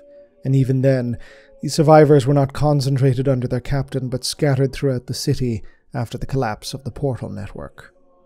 Magister Toron counted a mere few hundred at his side, and even these, loyal, dogged few, were perishing despite the powers bestowed upon them by Kalophis's bestriding idol. Surrounded by the baying of the wolves and the clinical precision of the custodes, soaked in the blood and viscera of his own brothers, what had once been Phael Toron broke. It is perhaps surprising that the trauma and insanity of Prospero had not done so to any member of the Legion until that point. Perhaps it had, and it was only the intensity of the etheric conflagration that was different in this instance. Perhaps it was a testament to the willpower of the Thousand Sons up to this moment. But for whatever reason, Phael Toron simply surrendered himself to the warp in its totality. All mental barriers were dropped. The tight mind hold through which all psykers must channel the immaterium was released. As a living conduit for the aether force of the warp, Toron became a force of total destruction, annihilating those Imperials around him with coruscating lightning that flowed through him in a torrent until his body simply dispersed, atom by atom, into nothingness. After action reports around this chronomark record a significant number of psi abnormalities amongst the Thousand Sons. And while Phael Toron was included in these, subsequent examination reveals that it was at this moment that the Thousand Sons, as a legion, perhaps even as humans, ended. The flesh change was a curse born of the Thousand Sons almost since their inception. It had, they had believed, been cured by the work of Magnus the Red, who had cast the full might of his peerless mind against the condition. He had succeeded, or so all who knew of it had thought, until the death of Phael Toron. From the epicenter of the seventh captain's disintegrated body, there now emerged a wave invisible, moving ever outwards, a malignancy cast against the genetic coding of the Thousand Sons and setting it alight. The return of the flesh change was as spectacular as it was horrifying. All across Tizca, the Astartes of the 15th Legion felt their flesh rebel, and watched in abject shock as their brothers succumbed to grand malmutations at astonishing speed. Reforming into shapes unspeakable, the bodies of those changed still convulsed with the torrential power of the immaterium, becoming psychic tumor things that lashed out in blind idiot pain at all around them. In the Raptoran arcology, the change tide hit Oromagma first, turning the captain into a revolting amalgam of fire and liquid meat, sending him running through the halls of the Templum screaming as his flesh and soul burned with a fire that would not let him die. Phosis T'kar, furiously battling Constantin Valdor, swelled with monstrous potency, his body erupting in form until it had become a towering abomination who threw itself at the Captain General with unnatural fury. It is said that, before the killing blow could be struck, the former Phosis T'kar was made aware of his aspect, and in revulsion of what he and his legion had become, willingly dropped his defenses allowing Valdor to plunge the Apollyon spear into what passed for his chest. All across Tizca, it is estimated that at least 10% of all Thousand Sons succumb to the flesh change within a minute of Phael Toron's apotheosis. But, and I note this despite advice that it should not be committed to official record, there remains evidence that the change was not restricted to the 15th Legion alone. Information contained within the archival stacks of the Silent Sisterhood note that, as the Thousand Sons succumbed to mutation untrammeled, so too did changes make themselves apparent upon the bodies of the wolves. Translated from Sisterhood Thoughtmark, the records speak of ogroid things in the shape of lupine creatures that warred with flesh changed and Imperials alike in the grounds of the Raptoran Pyramid. More berserk wolf than man, these beasts heeded no words, and may have been mistaken for some of the Thousand Sons afflicted had not their aspects been so eerily similar to each other, and some of their limbs had not still been clad in the dull grey of the Vlka Fenryka. The wolves have, throughout these last 10,000 years, furiously and violently denied that any such occurrence took place, or has ever taken place. They have worked with not insignificant diligence to ensure that official accounts do not refer to even the possibility that what genetic atrocities emerged on that night could have afflicted those of the Sixth Legion, but I, for one, am reminded once more of the saying there are no wolves on Fenris. Further elucidation on this point will remain for another day, but for now, I will trust the word of the Silent Sisters over a legion whose vested interests remains to this day in presenting themselves as the Justicars during so fell a day in history. As the change wrought its hideous work upon central Tizca, Canis Vertex was ploughing northwards. Seeking to crush the wolves' beachhead, Kalophis steered the god engine towards the concentric ring of stormbirds in the portlands, which, despite a total communications blackout, was still serving as a demarcation point for ammunition reserves ferried from orbit. No enemy stood against the warlord. The titans of the censure hosts had met their fates elsewhere. Its advance was heedless, each stride demolishing whole swathes of the city more totally than even the work of the Black Cull. The tanks of the wolves that ranged their firepower against it were just targets to the lashing flames that spun off its limbs.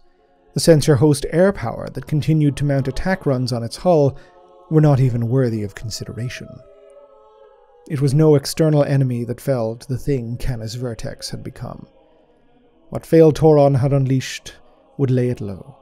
The power required by Kalophis to maintain his control over so vast a thing as a warlord titan, torn and rent by devastation emerging from the central districts.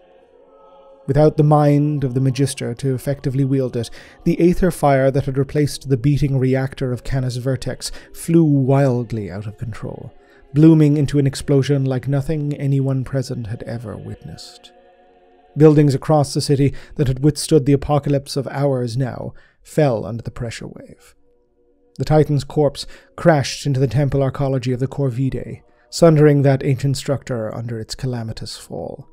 While at the summit of the Pyre arcology, Kalophis himself was granted one final instant of awareness before arcane feedback turned his body into a fiery conduit. The resulting detonation destroyed the Pyre's pyramid from within and caused untold devastation to the areas surrounding it. Local reality, or what had passed for it upon Prospero for hours now, ceased to function. What can only be described as a localized warp storm emerged over central Tizca for all to behold. The sky became the color of heartbreak. Lightning, the shade of trauma and captured loss, tore across it. Space time ceased to be in any true sense. It is at this point that all chronometric marks entirely fail. For what was to come and how long it took, little is certain. All we have are accounts, fragmentary video logs, and tales that, were it not for the sheer horror of what was unfolding, would be discarded as dreams of madmen.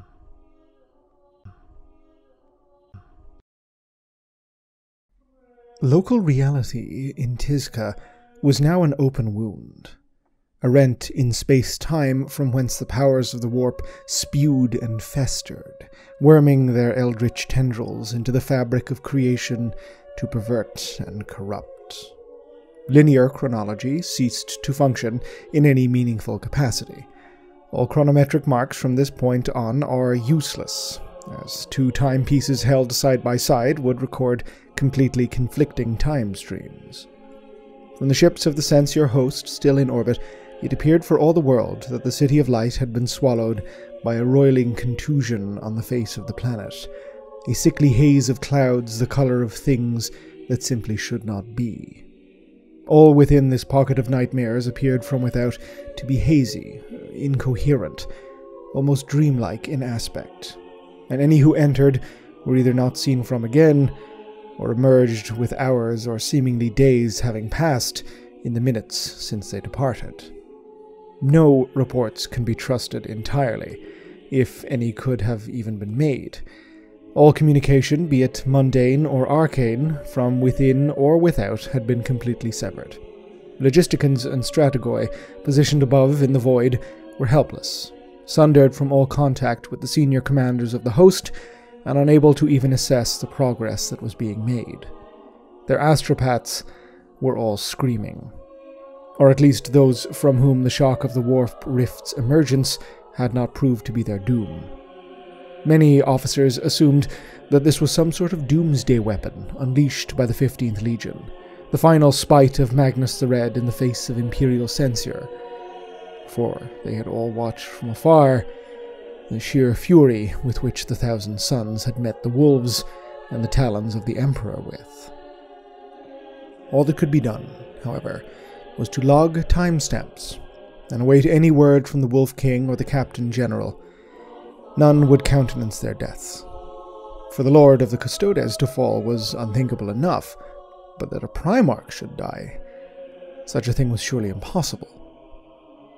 Although it seemed that the impossible was becoming ever more dreadfully possible upon the damned world of Prospero.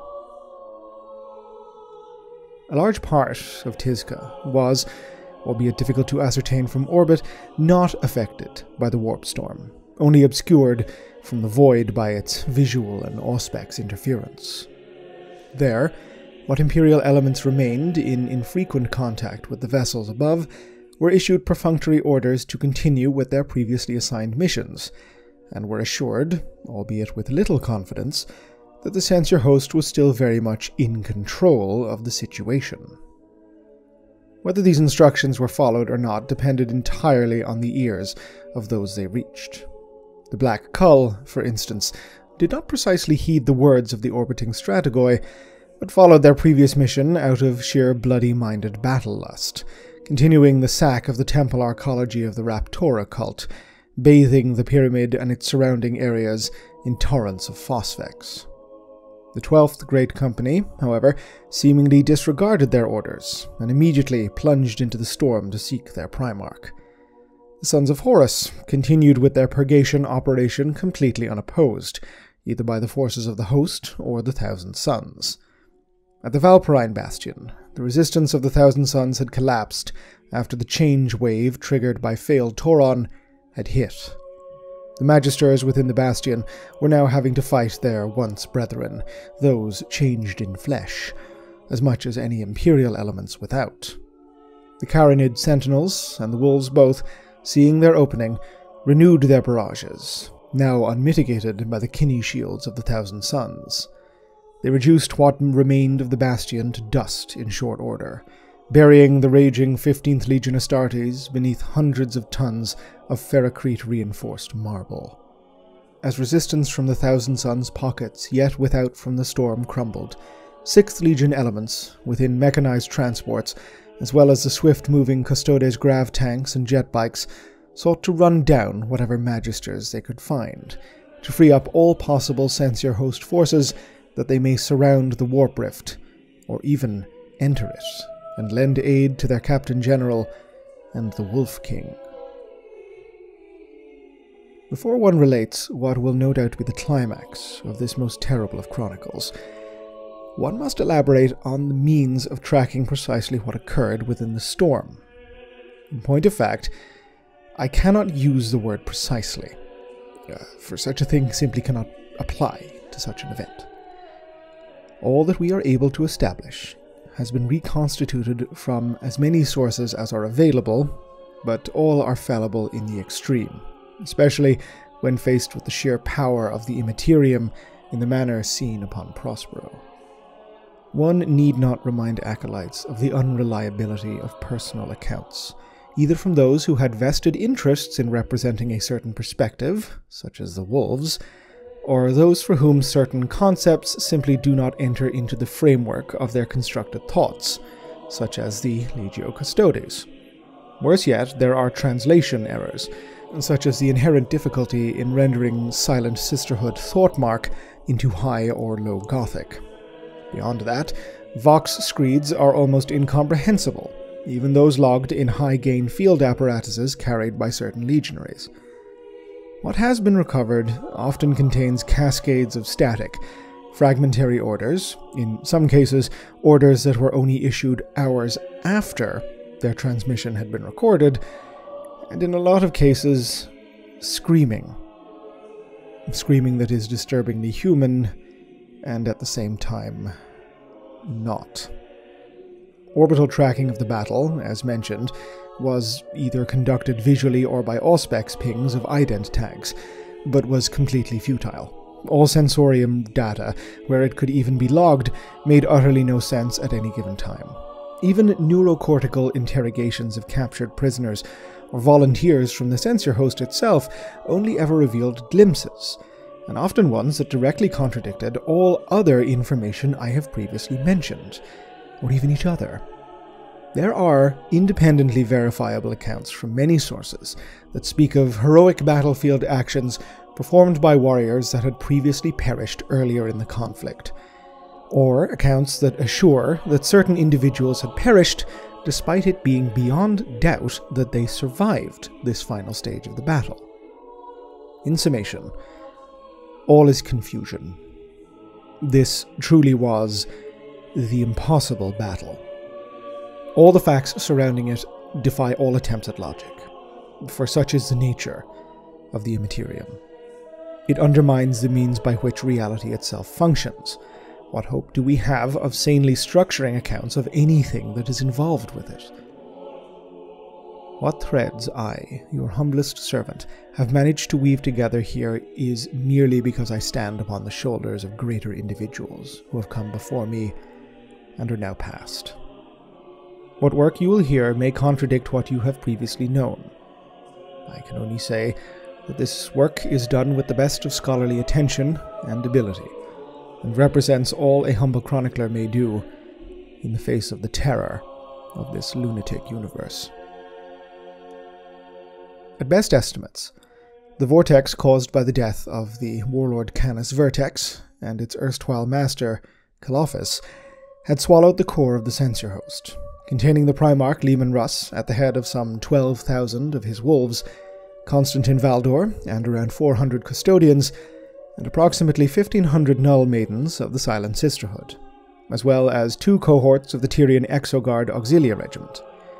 Ranged against them were some 7,000 of the Thousand Sons, as well as Spireguard divisions of disparate size.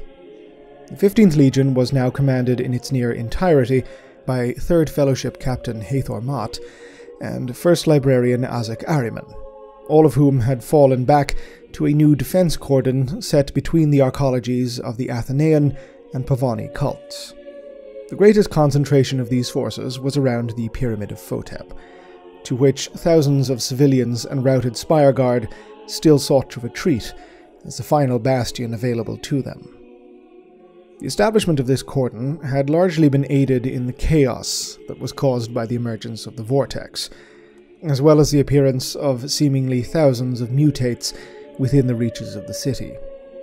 All of this, however, merely slowed the advance of the censure host. It did not stymie it.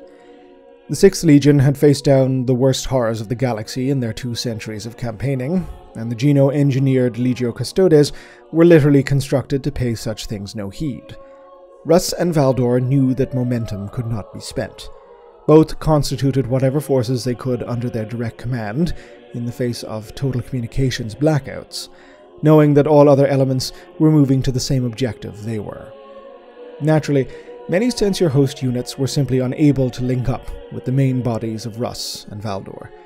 Some were lost to the unnatural eddies of reality that the vortex tossed around like churning water, cursed to wander aimlessly through fractally repeating ruins until the warp squall blew out.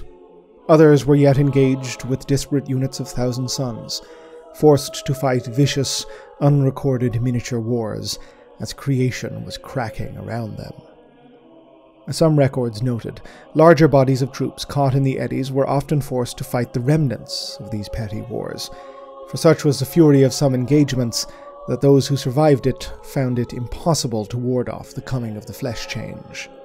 Many hundreds, indeed likely thousands, of debased creatures roamed the ruins of warp-choked Tizca, horrifying amalgams of tumorous flesh or feral beasts in the shapes of wolves. Their origins unknown, no longer mattering. The one aspect that slowed the censure host advance was the wariness of what psychic assaults they may face once they threw themselves at the Thousand Sons once more. Consequently, Russ and Valdor attempted where possible to organize their forces into columns, at the core of which stood cadres of Silent Sisters. Such maneuvering, under total lack of communications, was laborious in the extreme, granting the 15th Legion even more time to shore up what defenses they could around the Pyramid of Photep. Such precision care was, for the host, ultimately unnecessary. When the battle was joined, when the fury of the censure host was brought to the lines of the Thousand Sons, They were answered with entirely mundane bolter fire, as opposed to the eldritch howling of warp fire and arcane lightning. The 15th Legion seemed to be eschewing their powers, and one must only assume that the terror of the flesh change stayed their hands in that regard. Initially, it appeared that this final battle would be fought as of old, with bolter and blade and raw transhuman rage. But as the heavy transports of the wolves crashed through their lines, as the siege artillery of the host annihilated their redoubts, many of the magisters of Prospero abandoned their restraint and their lives loosing the power of the warp through their bodies, their powers heightened now to undreamed of levels. They vent their hate upon the wolves, who, in perhaps predictable fashion, had abandoned their silent sisterhood protectors in a bloodthirsty rush to engage the foe. The thousand sons that did, died, hacked to ruin by their once brothers, once their sentience had fled and their minds became as broken and corrupted as their bodies.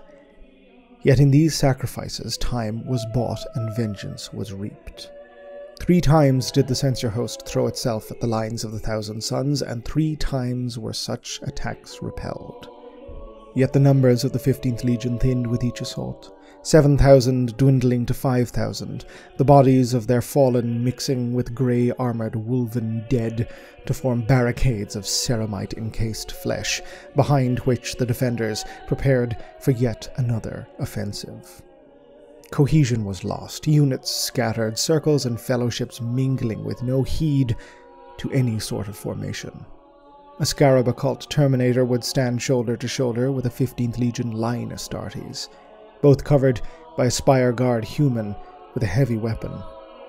Grim equanimity found at the edge of oblivion. It was then, as the silence had fallen, as a breath was drawn before the plunge, that he came at last. The Crimson King, Magnus the Red. Had any words been exchanged between the brothers? One can find no accurate record of it. Jenetia Krole, Knight Commander of the Silent Sisterhood, who witnessed the eventual conflict between Primarchs, stated that Russ and Magnus did indeed speak, briefly, but as to what was said, she knew not. Others who beheld the arrival of the Crimson King disagreed with the Soulless Queen's account, stating that the two Primarchs immediately flew into combat, with nothing but the Wolf King's howl to announce it. This is just the beginning of the disparity between accounts of this confrontation. All appear to have been warped in some manner, both through the mythic aspect such a fight between demigod sons of the Emperor will seemingly inevitably take on, and through the reality shredding tempest that surrounded the Pyramid of Photep. One focal point of agreement, however, is that the clash began with a howl of purest rage from the heart of Leman Russ. Beyond that, we once again return to incoherency, although this is partly due to the sheer unparalleled speed at which Primarchs are capable of engaging each other at. Of those present, it is likely only the Legio Custodes, perhaps even only Constantin Valdor, who possessed any biological capacity to follow and process the sheer speed of their bodily movements. Golden Axe met Silver Blade with a fury that shattered sky and air. The cold rage of the Lord of the Russ meeting the psychokinetic mastery of the Crimson King. Nothing survived contact with their combat. Not the architecture of Tizca, not the hulls of tanks, not the plate armor of Astartes. Any of the latter that somehow sought to intervene, to aid their gene father, to protect them, were simply annihilated before the combatants were even aware that an attempt had been made. The full force of Russ's martial skills were being leveled directly against every iota of Magnus's psychic might. Neither gave a hint of quarter, but even given all that was being brought to bear to bring him low, even given the titanic capacity for etheric destruction made possible by two centuries of his brother's arcane learning, it is unlikely if there could ever have been any victor other than Leman Russ. It is a general hypothesis that the Primarchs were built to fulfill a specific role that the Emperor had in mind. While Magnus's may only have been known to his father, Russ, perhaps more so than any of his brothers save the Lion and Angron, was clearly a weapon designed for destruction. In the hell that had come to Prospero, in the etheric tempest that was tearing at the roots of all things, perhaps none but him could have so thrived. Though the Crimson King tore at his brother, wounding him on planes material and immaterial both, it was to Russ that the final blow fell. Some related it as the plunging of his sword into Magnus's torso, but the prevailing account holds that the Wolf King bodily heaved his brother aloft and cast him down across a brutally armored knee, sundering the back of Magnus the Red and defeating the Cyclops of Prospero utterly. At this moment, this instant played across a billion instances. It is related that a light suffused the entire pyramid of Photep, bringing illumination to an area that had until that moment appeared perched upon the precipice of a night eternal. It had no source, seemingly filling the air itself with an incandescence that was indescribable. Many presumed it a final trick of Magnus, but the Sorcerer King appeared utterly unconscious, maybe even dead, and was in no state to be casting some form of esoteric incantation.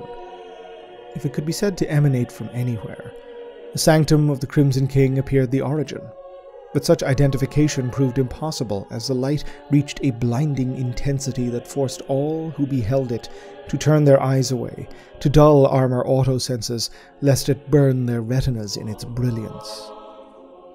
The storm, however, did not simply end, but now appeared to have a new locus. Howling winds began to form a vortex centered on the pyramid of Photep, tearing gales shearing away rubble and masonry, and even toppling armored tanks. Many relate that it was at this moment their Vox networks, previously silent or static, were invaded by a cacophonous choir of whispers, while others claim they heard naught but booming, wicked laughter. Yet others say that upon the winds was born the death howl of the world itself, the pain of a planet condemned to oblivion and that cracks in the skein of creation began to rend themselves apart, ghostly fingers of things abominable intruding upon reality from the unknowable beyond. Shards of existence splintered, dimensions fracturing and inverting, slicing at minds and flesh as knives. To many, it must have no doubt seemed that the Crimson King in his passing had broken the rules of all that was and is. Chaos but it would not last. The light snapped out of being, the storm, bereft now of its locus, faded. As if a flame had been put out, local reality reasserted itself. The bleeding of physical laws staunched. The Vox now exploded with frantic activity, ships in orbit and censure host formations across the city hailing their commanders with urgent requests for information. Those commanders, and those of the host yet alive within the former eye of the storm surveyed the ruination around them. Of Magnus the Red, of his thousand sons, there was not a single sign. In the aftermath of this clash titanic, little was clear. Constantin Valdor immediately ordered a full sweep of the ruined Pyramid of Photep with all available resources, Imperial and Mechanicum both, to attempt to determine what had occurred. The area of the city had contained over 3,000 surviving Thousand Sons, and an approximate number of elite and veteran Spire Guard auxilia. There had also been as many as 10,000 civilians cowering in subterranean fanes and catacombs. In total, some 20,000 humans and transhumans had at one moment been present and now simply were not. This was not merely that they were dead. There was literally no trace that they had existed in the first place. There were no bodies, no scraps of clothes or armor. Nothing. Even weaponry capable of disintegrating a body in an instant, such as thermite armaments, would leave scorch marks. Radphages and viral cascades typically left an organic residue or slurry in their wake. Adepts of the attended Mechanicum Tagmata, well versed as they are in the arts of annihilation, as well as those of the Sixth Legion's Black Cull, were completely baffled, able to draw no conclusions as to what weapon or device the Thousand Sons or their Primarch had employed at the end of all things. Such conclusions that could be drawn at the time were only able to posit that the arcane was at play here, as it had been throughout those cataclysmic final hours. But as to how, nothing could be said with anything even remotely resembling confidence. At 1917 at local time, on 734-004 M31, the Censure host's ground forces succeeded in making contact with their ships in orbit. Vox networks were re-establishing in the wake of the warp storm's passing, the ugly wound upon reality having disappeared along with the Sorcerer King and his legion. Conflict, however, still continued in the devastation of Tizca. Not every Thousand Son had vanished. Isolated bands yet persisted, fighting hopeless retreats to some indeterminable, perhaps even imaginary fallback location. Roving bands of mutates continued to attack all they encountered. While Russ gathered his wolves into hunter seeker units, fresh reinforcements, in the form of knights from House Malanax, took to the field, the powerful war suits proving more than a match for the gibbering horror things that flung themselves at anything that moved. As many as 2,000 of the 15th Legion still remained within the Argent Bastion, at the eastern end of Tizca's walls, all that remained of the Eighth Fellowship, as well as a significant number of psi automata of the Castellax Achaea mark. The resistance lasted for maybe an hour after the fall of Magnus the Red, before they withdrew to the Bastion's lower reaches, effecting a hit and run retreat in face of a punitive offensive of Varagyr Terminators and Legio Custodes Sodalities. The fighting was only ended when a blank eyed Leman Russ, operating it seemed on more rote than actual drive, took to the tunnels, butchering every single Astartes he could find with a dispassionate ease that would have been contemptuous if it's had any emotion behind it whatsoever. From the records of some of the custodians present, had the Wolf King been any other than a son of the Emperor, his behavior may have pointed to severe trauma. But of course, such a thing was not possible. Elsewhere, in the ruins of the Valpurine Bastion, a division of Thousand Sons had emerged, having protected themselves from the Citadel's collapse through a superlative series of overlapping kinetic shields. Instead of bothering to engage any wolves or custodes within the area, these Astartes, now under the command of a line officer named Sul Contep, took to the Citadel's airfields to make flight worthy whatever aircraft they could. When their presence was eventually discovered, and censure host forces dispatched to their location, the Magisters had managed to evacuate in their totality, packing what ships they could with civilians that remained alive within the area. Departing out over the Valpurine Sea, they utilized the ash and steam clouds present to mask their exit. While some were taken down by Legio Custodes Equinox interceptors, a great many disappeared from Imperial auspexes entirely. The Sons of Horus division of the host, having been entirely absent from the vortex in central Tizca, had now turned their operations to total purgation. Any who were not of the censure host were put to an unceremonious death, their corpses left to rot where they fell as green armored Astartes spread out through what remained of the city. In the northern district, in the ruins of the Prosperine Air Guard's base of operations, the 16th Legion and several knights of House Malanax encountered survivors of the Spire Guard and a significant quantity of civilians under the leadership of Seneschal Prime Lucretia Elunirai who had been attempting to effect rescue operations as best she could manage as her world fell around her. Believing her rank would grant her some means of parley, she voxed a demand to the commanders, Boros Kern of the Sons of Horus and Anrak Hadratha of the Space Wolves' Black Cull.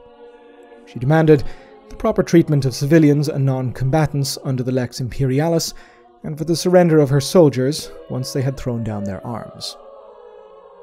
Boros Kern executed her personally, a single bolt round detonating the woman's skull like a ripe fruit, while Hadratha bathed the entire complex in phosphex, combining all within soldier, civilian, child to death by the fire that lives. The pitiless slaughter of every single civilian that remained within Tizca would continue for three days local time, including in its scope operations dispatched to investigate any potential Thousand Sons presence elsewhere upon the planet. What pockets at this point remained, usually handfuls of individuals, were treated to the same immediate butchery. By the time the sun sank along the smoke and ash choked skies of Prospero's only city, nothing yet lived within its ruins. No plant, no animal, no human, no Astartes, no mutant. Valdor at this point ordered the evacuation of censure host forces, mm, seeing no reason to remain. Although Russ, in typical fashion, did not heed them. The Wolf King had resolved that his men would be the last to leave the planet. It was at this point, at the tail end of the evacuation, that the Thousand Sons that had fled across the Valpyrean Sea re-emerged, making directly for the final Imperial transport arcs. Easily overwhelming the auxilia present, and completely unbeknownst at this point to the wolves, the arcs made orbit, slipping past the Imperial ships in the Prosperine skies, most of which had been dispersed into a second bombardment formation.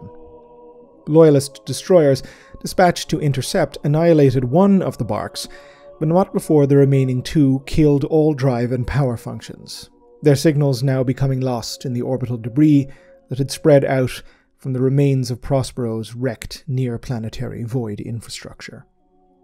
While sensor sweeps persisted for hours, no trace of the vessels could be found. It was eventually ruled that, as they lacked warp capabilities, those aboard would be rendered too helpless to effect anything of note, so they were simply presumed dead. Leman Russ was the final set of boots to leave the ground, a stormbird dusting off from a shattered and ruined hellscape. As a final punitive act, a second orbital bombardment was conducted, incinerating anything remaining that could burn, ensuring that any of those who had somehow managed to escape the Emperor's censure would not live to celebrate their already completely hollow victory. As the ships of the censure host slipped anchor, Vox beacons were seated throughout Prosperine approaches, broadcasting the unmistakable Perditus Maximus signal. The Lex Imperialis had ruled this planet utterly forbidden. None may approach under pain of death. Thus was Prospero abandoned, a world corpse, a planet of ash and departed pain, a choked orb hanging dead in the void where no sound ruled save for the wind through burned bones. At best historical estimate, the cost of bringing the Emperor's writ of censure to Prospero was 30 million lives of which the overwhelming majority were Imperial civilians simply present on the planet at the moment of the censure host's arrival. Data logged within the Administratum placed the number of civilian survivors at a net zero. The official line would forever be that the Prosperine branch of humanity, which had survived the turning of millennia, the terrors of Old Night, and the renewal of the Great Crusade, had been annihilated in its totality thanks to the follies of Magnus the Red. The same was said for the 15th Legion, Thousand Sons. From 004 until a decade later, upon Terra, as the walls fell in 014 M31, the Legion was officially declared extinct. The truth, of course, is that neither the humans of Prospero nor its Astartes were all wiped out in one fell stroke. Notwithstanding the Astartes and civilians that had disappeared with Magnus the Red, there remained many thousands of both who had, through the vagaries of fate, been abroad across the galaxy when the doom of Tizca was wrought. Many were simply put to death by Imperial forces they were serving alongside, usually before news of the censure of their Primarch, or indeed his fall, had even reached them. In one prominent example, 2,000 Astartes of the Ninth Fellowship under Centaur Rami were gunned down by the Ultramarines they served alongside. Similar justice was conducted by the Imperial Fists and the Salamanders, 2,000 Suns forces they had previously counted as allies, but had been explicitly instructed to slaughter. It is perhaps noteworthy that at no point did any of the Astartes committing this fratricide attempt to aid the doomed and unaware Thousand Sons in question. Some, naturally, escaped by their own devices, the prognosticators amongst them becoming aware of their doom before it struck, and for these few, awaited a life, at best, of fleeing from the jaws of imperial retribution. The largest of these contingents, independently verifiable to history, were 5,000 Astartes of the Fourth Fellowship, constituting its majority, who immediately ceased their Great Crusade assignment and fled to the stars upon news of Prospero's demise reaching its expeditionary fleet. Elsewhere, several thousand sons of Magnus stationed on Prospero's client forge world of Shau Arcad similarly fled. Of the fates of these thousand sons, nothing can currently be said. In the chaos of the years to come, the threads of their stories are utterly lost. It's quite possible they may have reunited with their Primarch and their legion before the siege had even begun. But it is equally likely many simply turned to a life of the renegade during the conflagration of the Horus heresy. Perhaps siding with neither traitor nor loyalist. Perhaps they became Black Shields. Or perhaps they simply chose to survive as best they could in a world consumed by madness. In total, the censure host had suffered significant losses in its prosecution of the battle, some 49,000 in total, and a massive quantity of armaments either lost or abandoned in necessity in the tomb of Prospero. This included several Titan god machines, much to the fury of the Mechanicum. Naturally, the majority of these losses were incurred by the Vlka Fenryka, some 25,000 confirmed killed in combat, as well as the entirety of its 13th grade company, simply declared lost in the collapse of the warp vortex. This was a significant amount of the Sixth Legion's strength at a crucial time. The heresy would rupture into dreadful reality mere months later, offering the Legion no time to recover in any meaningful capacity from these losses. The casualties for the talons of the Emperor, the Silent Sisterhood, and the Legio Custodes were relatively small and somewhat unverifiable, but when we consider the scale of their commitment to the host, and their rarity and specialities, their losses can still be considered severe by any measurable metric. Some historians have even waxed lyrical on the loss for the latter formations, altogether less mundane, the status of custodian invincibility. Never before had such a large quantity of the Emperor's own life wards been committed to a single action, and even in instances where they had taken to the battlefield alongside the Master of Mankind, rarely had more than a few fallen in pursuit of their goals. Those that had observed them in action, be they Thousand Son, Wolf of Russ, or Son of Horus, learned many a lesson from that day about just how the Custodes prosecuted their war making, and notes were taken about precisely how they had fallen and when they did. On the Loyalist side, darker rumors festered, particularly around the ease and apparent experience by which the Auric champions of the Emperor had dispatched Astartes so contemptuously. Some, indeed, wondered aloud if this had been a purpose they had been crafted for, although such opinions, when expressed, were rarely done so to ears untrusted. The ripples of the destruction of Prospero spread outwards from it, some discernible, others less so. So seismic an event in imperial history could not simply go unnoted by the many, even if the Imperium's military regime did much to downplay its significance. A triumphal parade was held perfunctorily upon the censure host's return to Terra, one which Russ declined to attend, leading his wolves elsewhere. Valdor's own journal notes that, according to the Wolf King, A king does not invite his blood-stained headsman to a victory feast, although to call it uh, the latter was quite a misnomer. The emperor was deeply concerned with the loss of Magnus, it is supposedly said, and what it represented for his unknowable goals, declining in his personage to attend any victory celebrations such as they were. The triumph ended on a muted note, with the courts of the Imperium moving rapidly to declare the Thousand Sons as Perdicia, all records of them to be expunged, all their property seized, all treaties they were privy to rendered defunct. Many worlds brought into compliance by the Legion, especially ones Magnus had sought to shape into visions of his ideal future, made strident objections in court to the Legion's destruction and subsequent expurgation.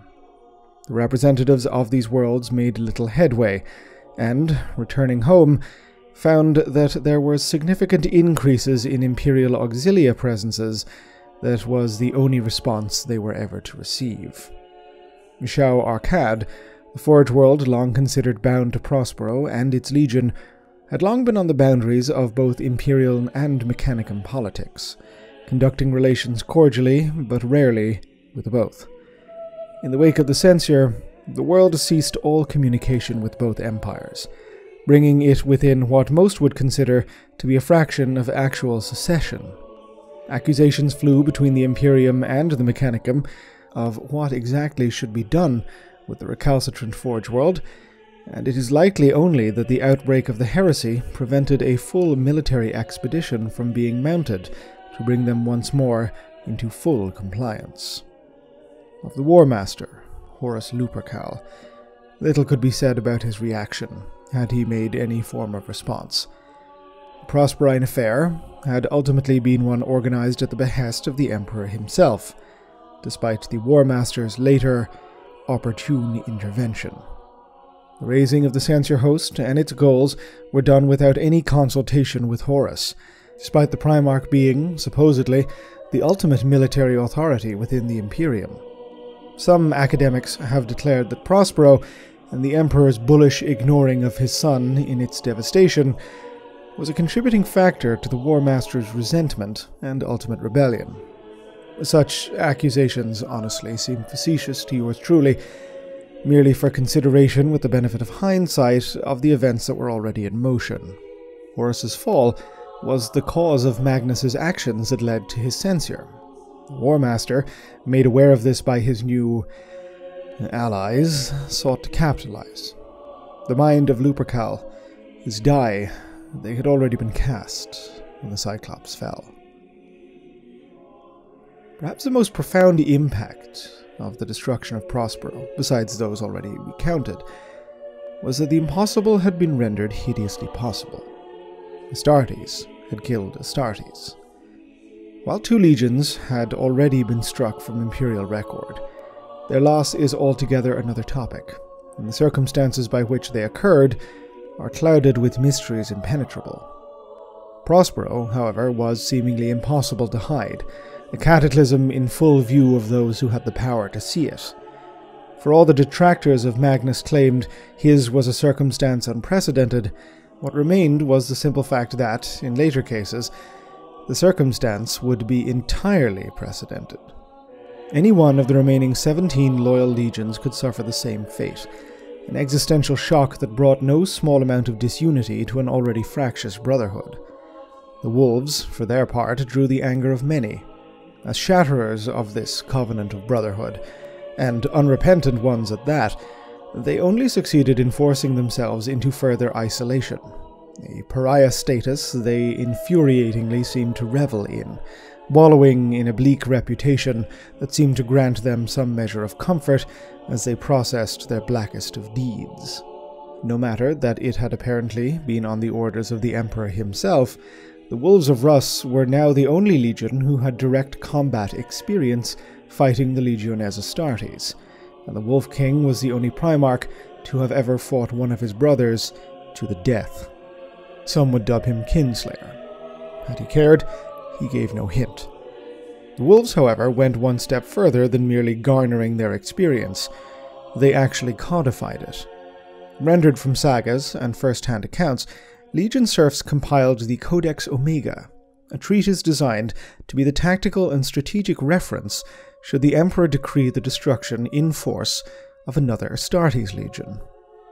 This was, of course, a direct and plain threat to the Legiones Astartes by the Sixth Legion, and one whose contents were shared only with Horus Lupercal and his own legion as War Master. An error so unspeakably grave that Russ was later said to admit it was one of his greatest regrets. Almost every legion released immediate missives to the Emperor calling for the destruction of the Codex Omega, save for three the Iron Hands, the Night Lords, and the Alpha Legion, all called instead for every legion to be given a copy. Certainly, the awareness of such a work caused significant discord among the legiones. Many shored up interlegion treaties with those they were closer to. Many worked to stockpile arms and armaments, or shifted around garrison forces in what could have been almost nervous agitation were they not Astartes. The victor in this, as with almost all things concerning the Prosperine incident, was Horus Lupercal. The legions distrustful of each other, the executioners of the Emperor maimed and isolated, an unpredictable sorcerer king betrayed, wounded, and cast into oblivion, seeds of doubt in the Emperor's motives sown into the galaxy, all of this played into the War Master's hands. Prospero meant to stand as a noble upholding of the law of the Imperium, it instead was now forever to be remembered as a triumph of the traitor Horus his first act, his first victory, even before blood had been spilled on the soils of Isstvan. What, finally, of the fate of Magnus the Red and his thousand sons? All at the time believed him either to be dead or in a self imposed exile of sorts. As his body was never recovered, nor any trace of his death identified, this was all that could be surmised. That was, of course, until the Siege of Terra, when his sundering of the outer walls and his gambit within the Imperial dungeon played out in all its dramatic tragedy. Magnus had survived Prospero, and yet persists to this day, even now, in corrupted damnation. How he accomplished such a feat is known only thanks to later darker revelations about the 15th sun's fall. His final sorcery on his homeworld was a wholesale transportation of himself, his library, and all of the surviving Thousand Sons, Spire Guard, and Prosperine civilians in the Pyramid of Photep to another planet entirely. Sortiarius, the so called Planet of the Sorcerers, a damned world located deep in the festering reaches of the Ocularis Terribilis, the Eye of Terror. Had such an act been possible for Magnus himself, it would have represented a feat of psychic mastery that surpassed anything any human, baseline, Astartes, Primarch, or even the Emperor himself had ever accomplished or could ever have accomplished. Divisio Telepathica investigations, commissioned in the aftermath of the Cataclysm in secret, projected that, even if Magnus had sacrificed the sum total of every psyker at his beck and call. The resulting psychonometric energy would only have been sufficient to transport a handful of individuals, not thousands. Early studies into this were curtailed by post scouring imperial suppression. No one was apparently concerned with how Magnus had survived, and it is only thanks to inquisitive minds of later millennia that one has any body of scholarship upon which to build. Those long thousands of years taught humanity the pain of the primordial annihilator, the so called gods of chaos, those eldritch intelligences that dwell in the deepest reaches of the immaterium. Many now believe that, as Magnus could not have accomplished his feat alone, at the moment of his death he opened his hearts to the presence of a force altogether beyond. That in that darkest of moments, he embraced damnation that he might save his sons and himself from certain death. Should this indeed be the case, that power responded in kind, spiriting the Primarch and his legion away, to remain until this day under its thrall. Certainly, the Thousand Sons have over 10,000 years been under the many, many eyes of the, the Changer of the Ways, as Magnus himself has, recently renewed in aspect and apparently vigor, as he is in this darkest of millennia. The boons of such a patron would go a long ways to explaining how, a mere ten years later, 3,000 Thousand Son survivors became the approximately 10,000 accounted for upon Terra during the siege, although one author posits an altogether different theoretical. According to the theory of the first of the 15th, the power offered by the shifting many, at the moment, was one whose price was unforeseen. Magnus may have desired himself and his son saved, but the Changer did so by means rather different.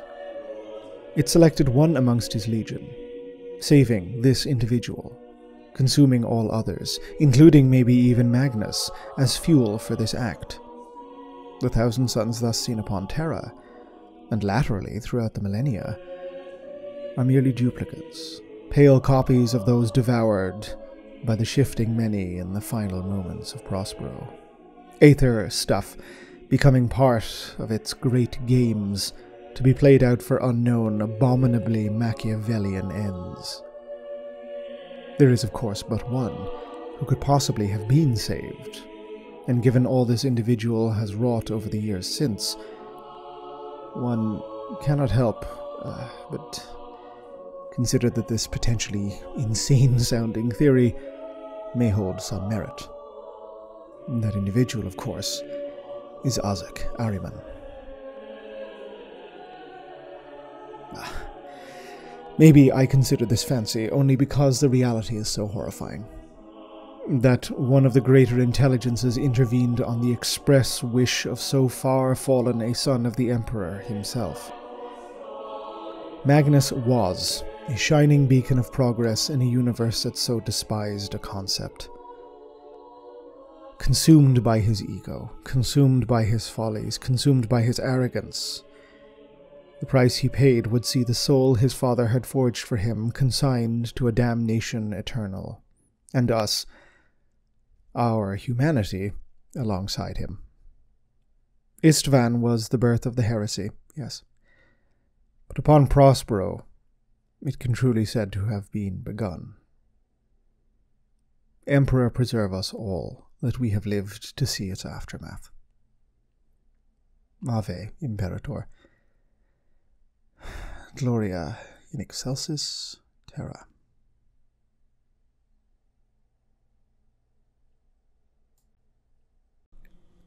This video and this channel were made possible thanks to the very kind donations and support from my Patreon subscribers. If you'd like to help support the channel, head on over to patreon.com slash Oculus Imperia. If you'd like to receive more updates about the channel and any future videos, you can contact me or follow me on Twitter at Oculus Imperia. Otherwise, please like, subscribe, comment, let me know your feedback, and as ever, thank you very much for watching.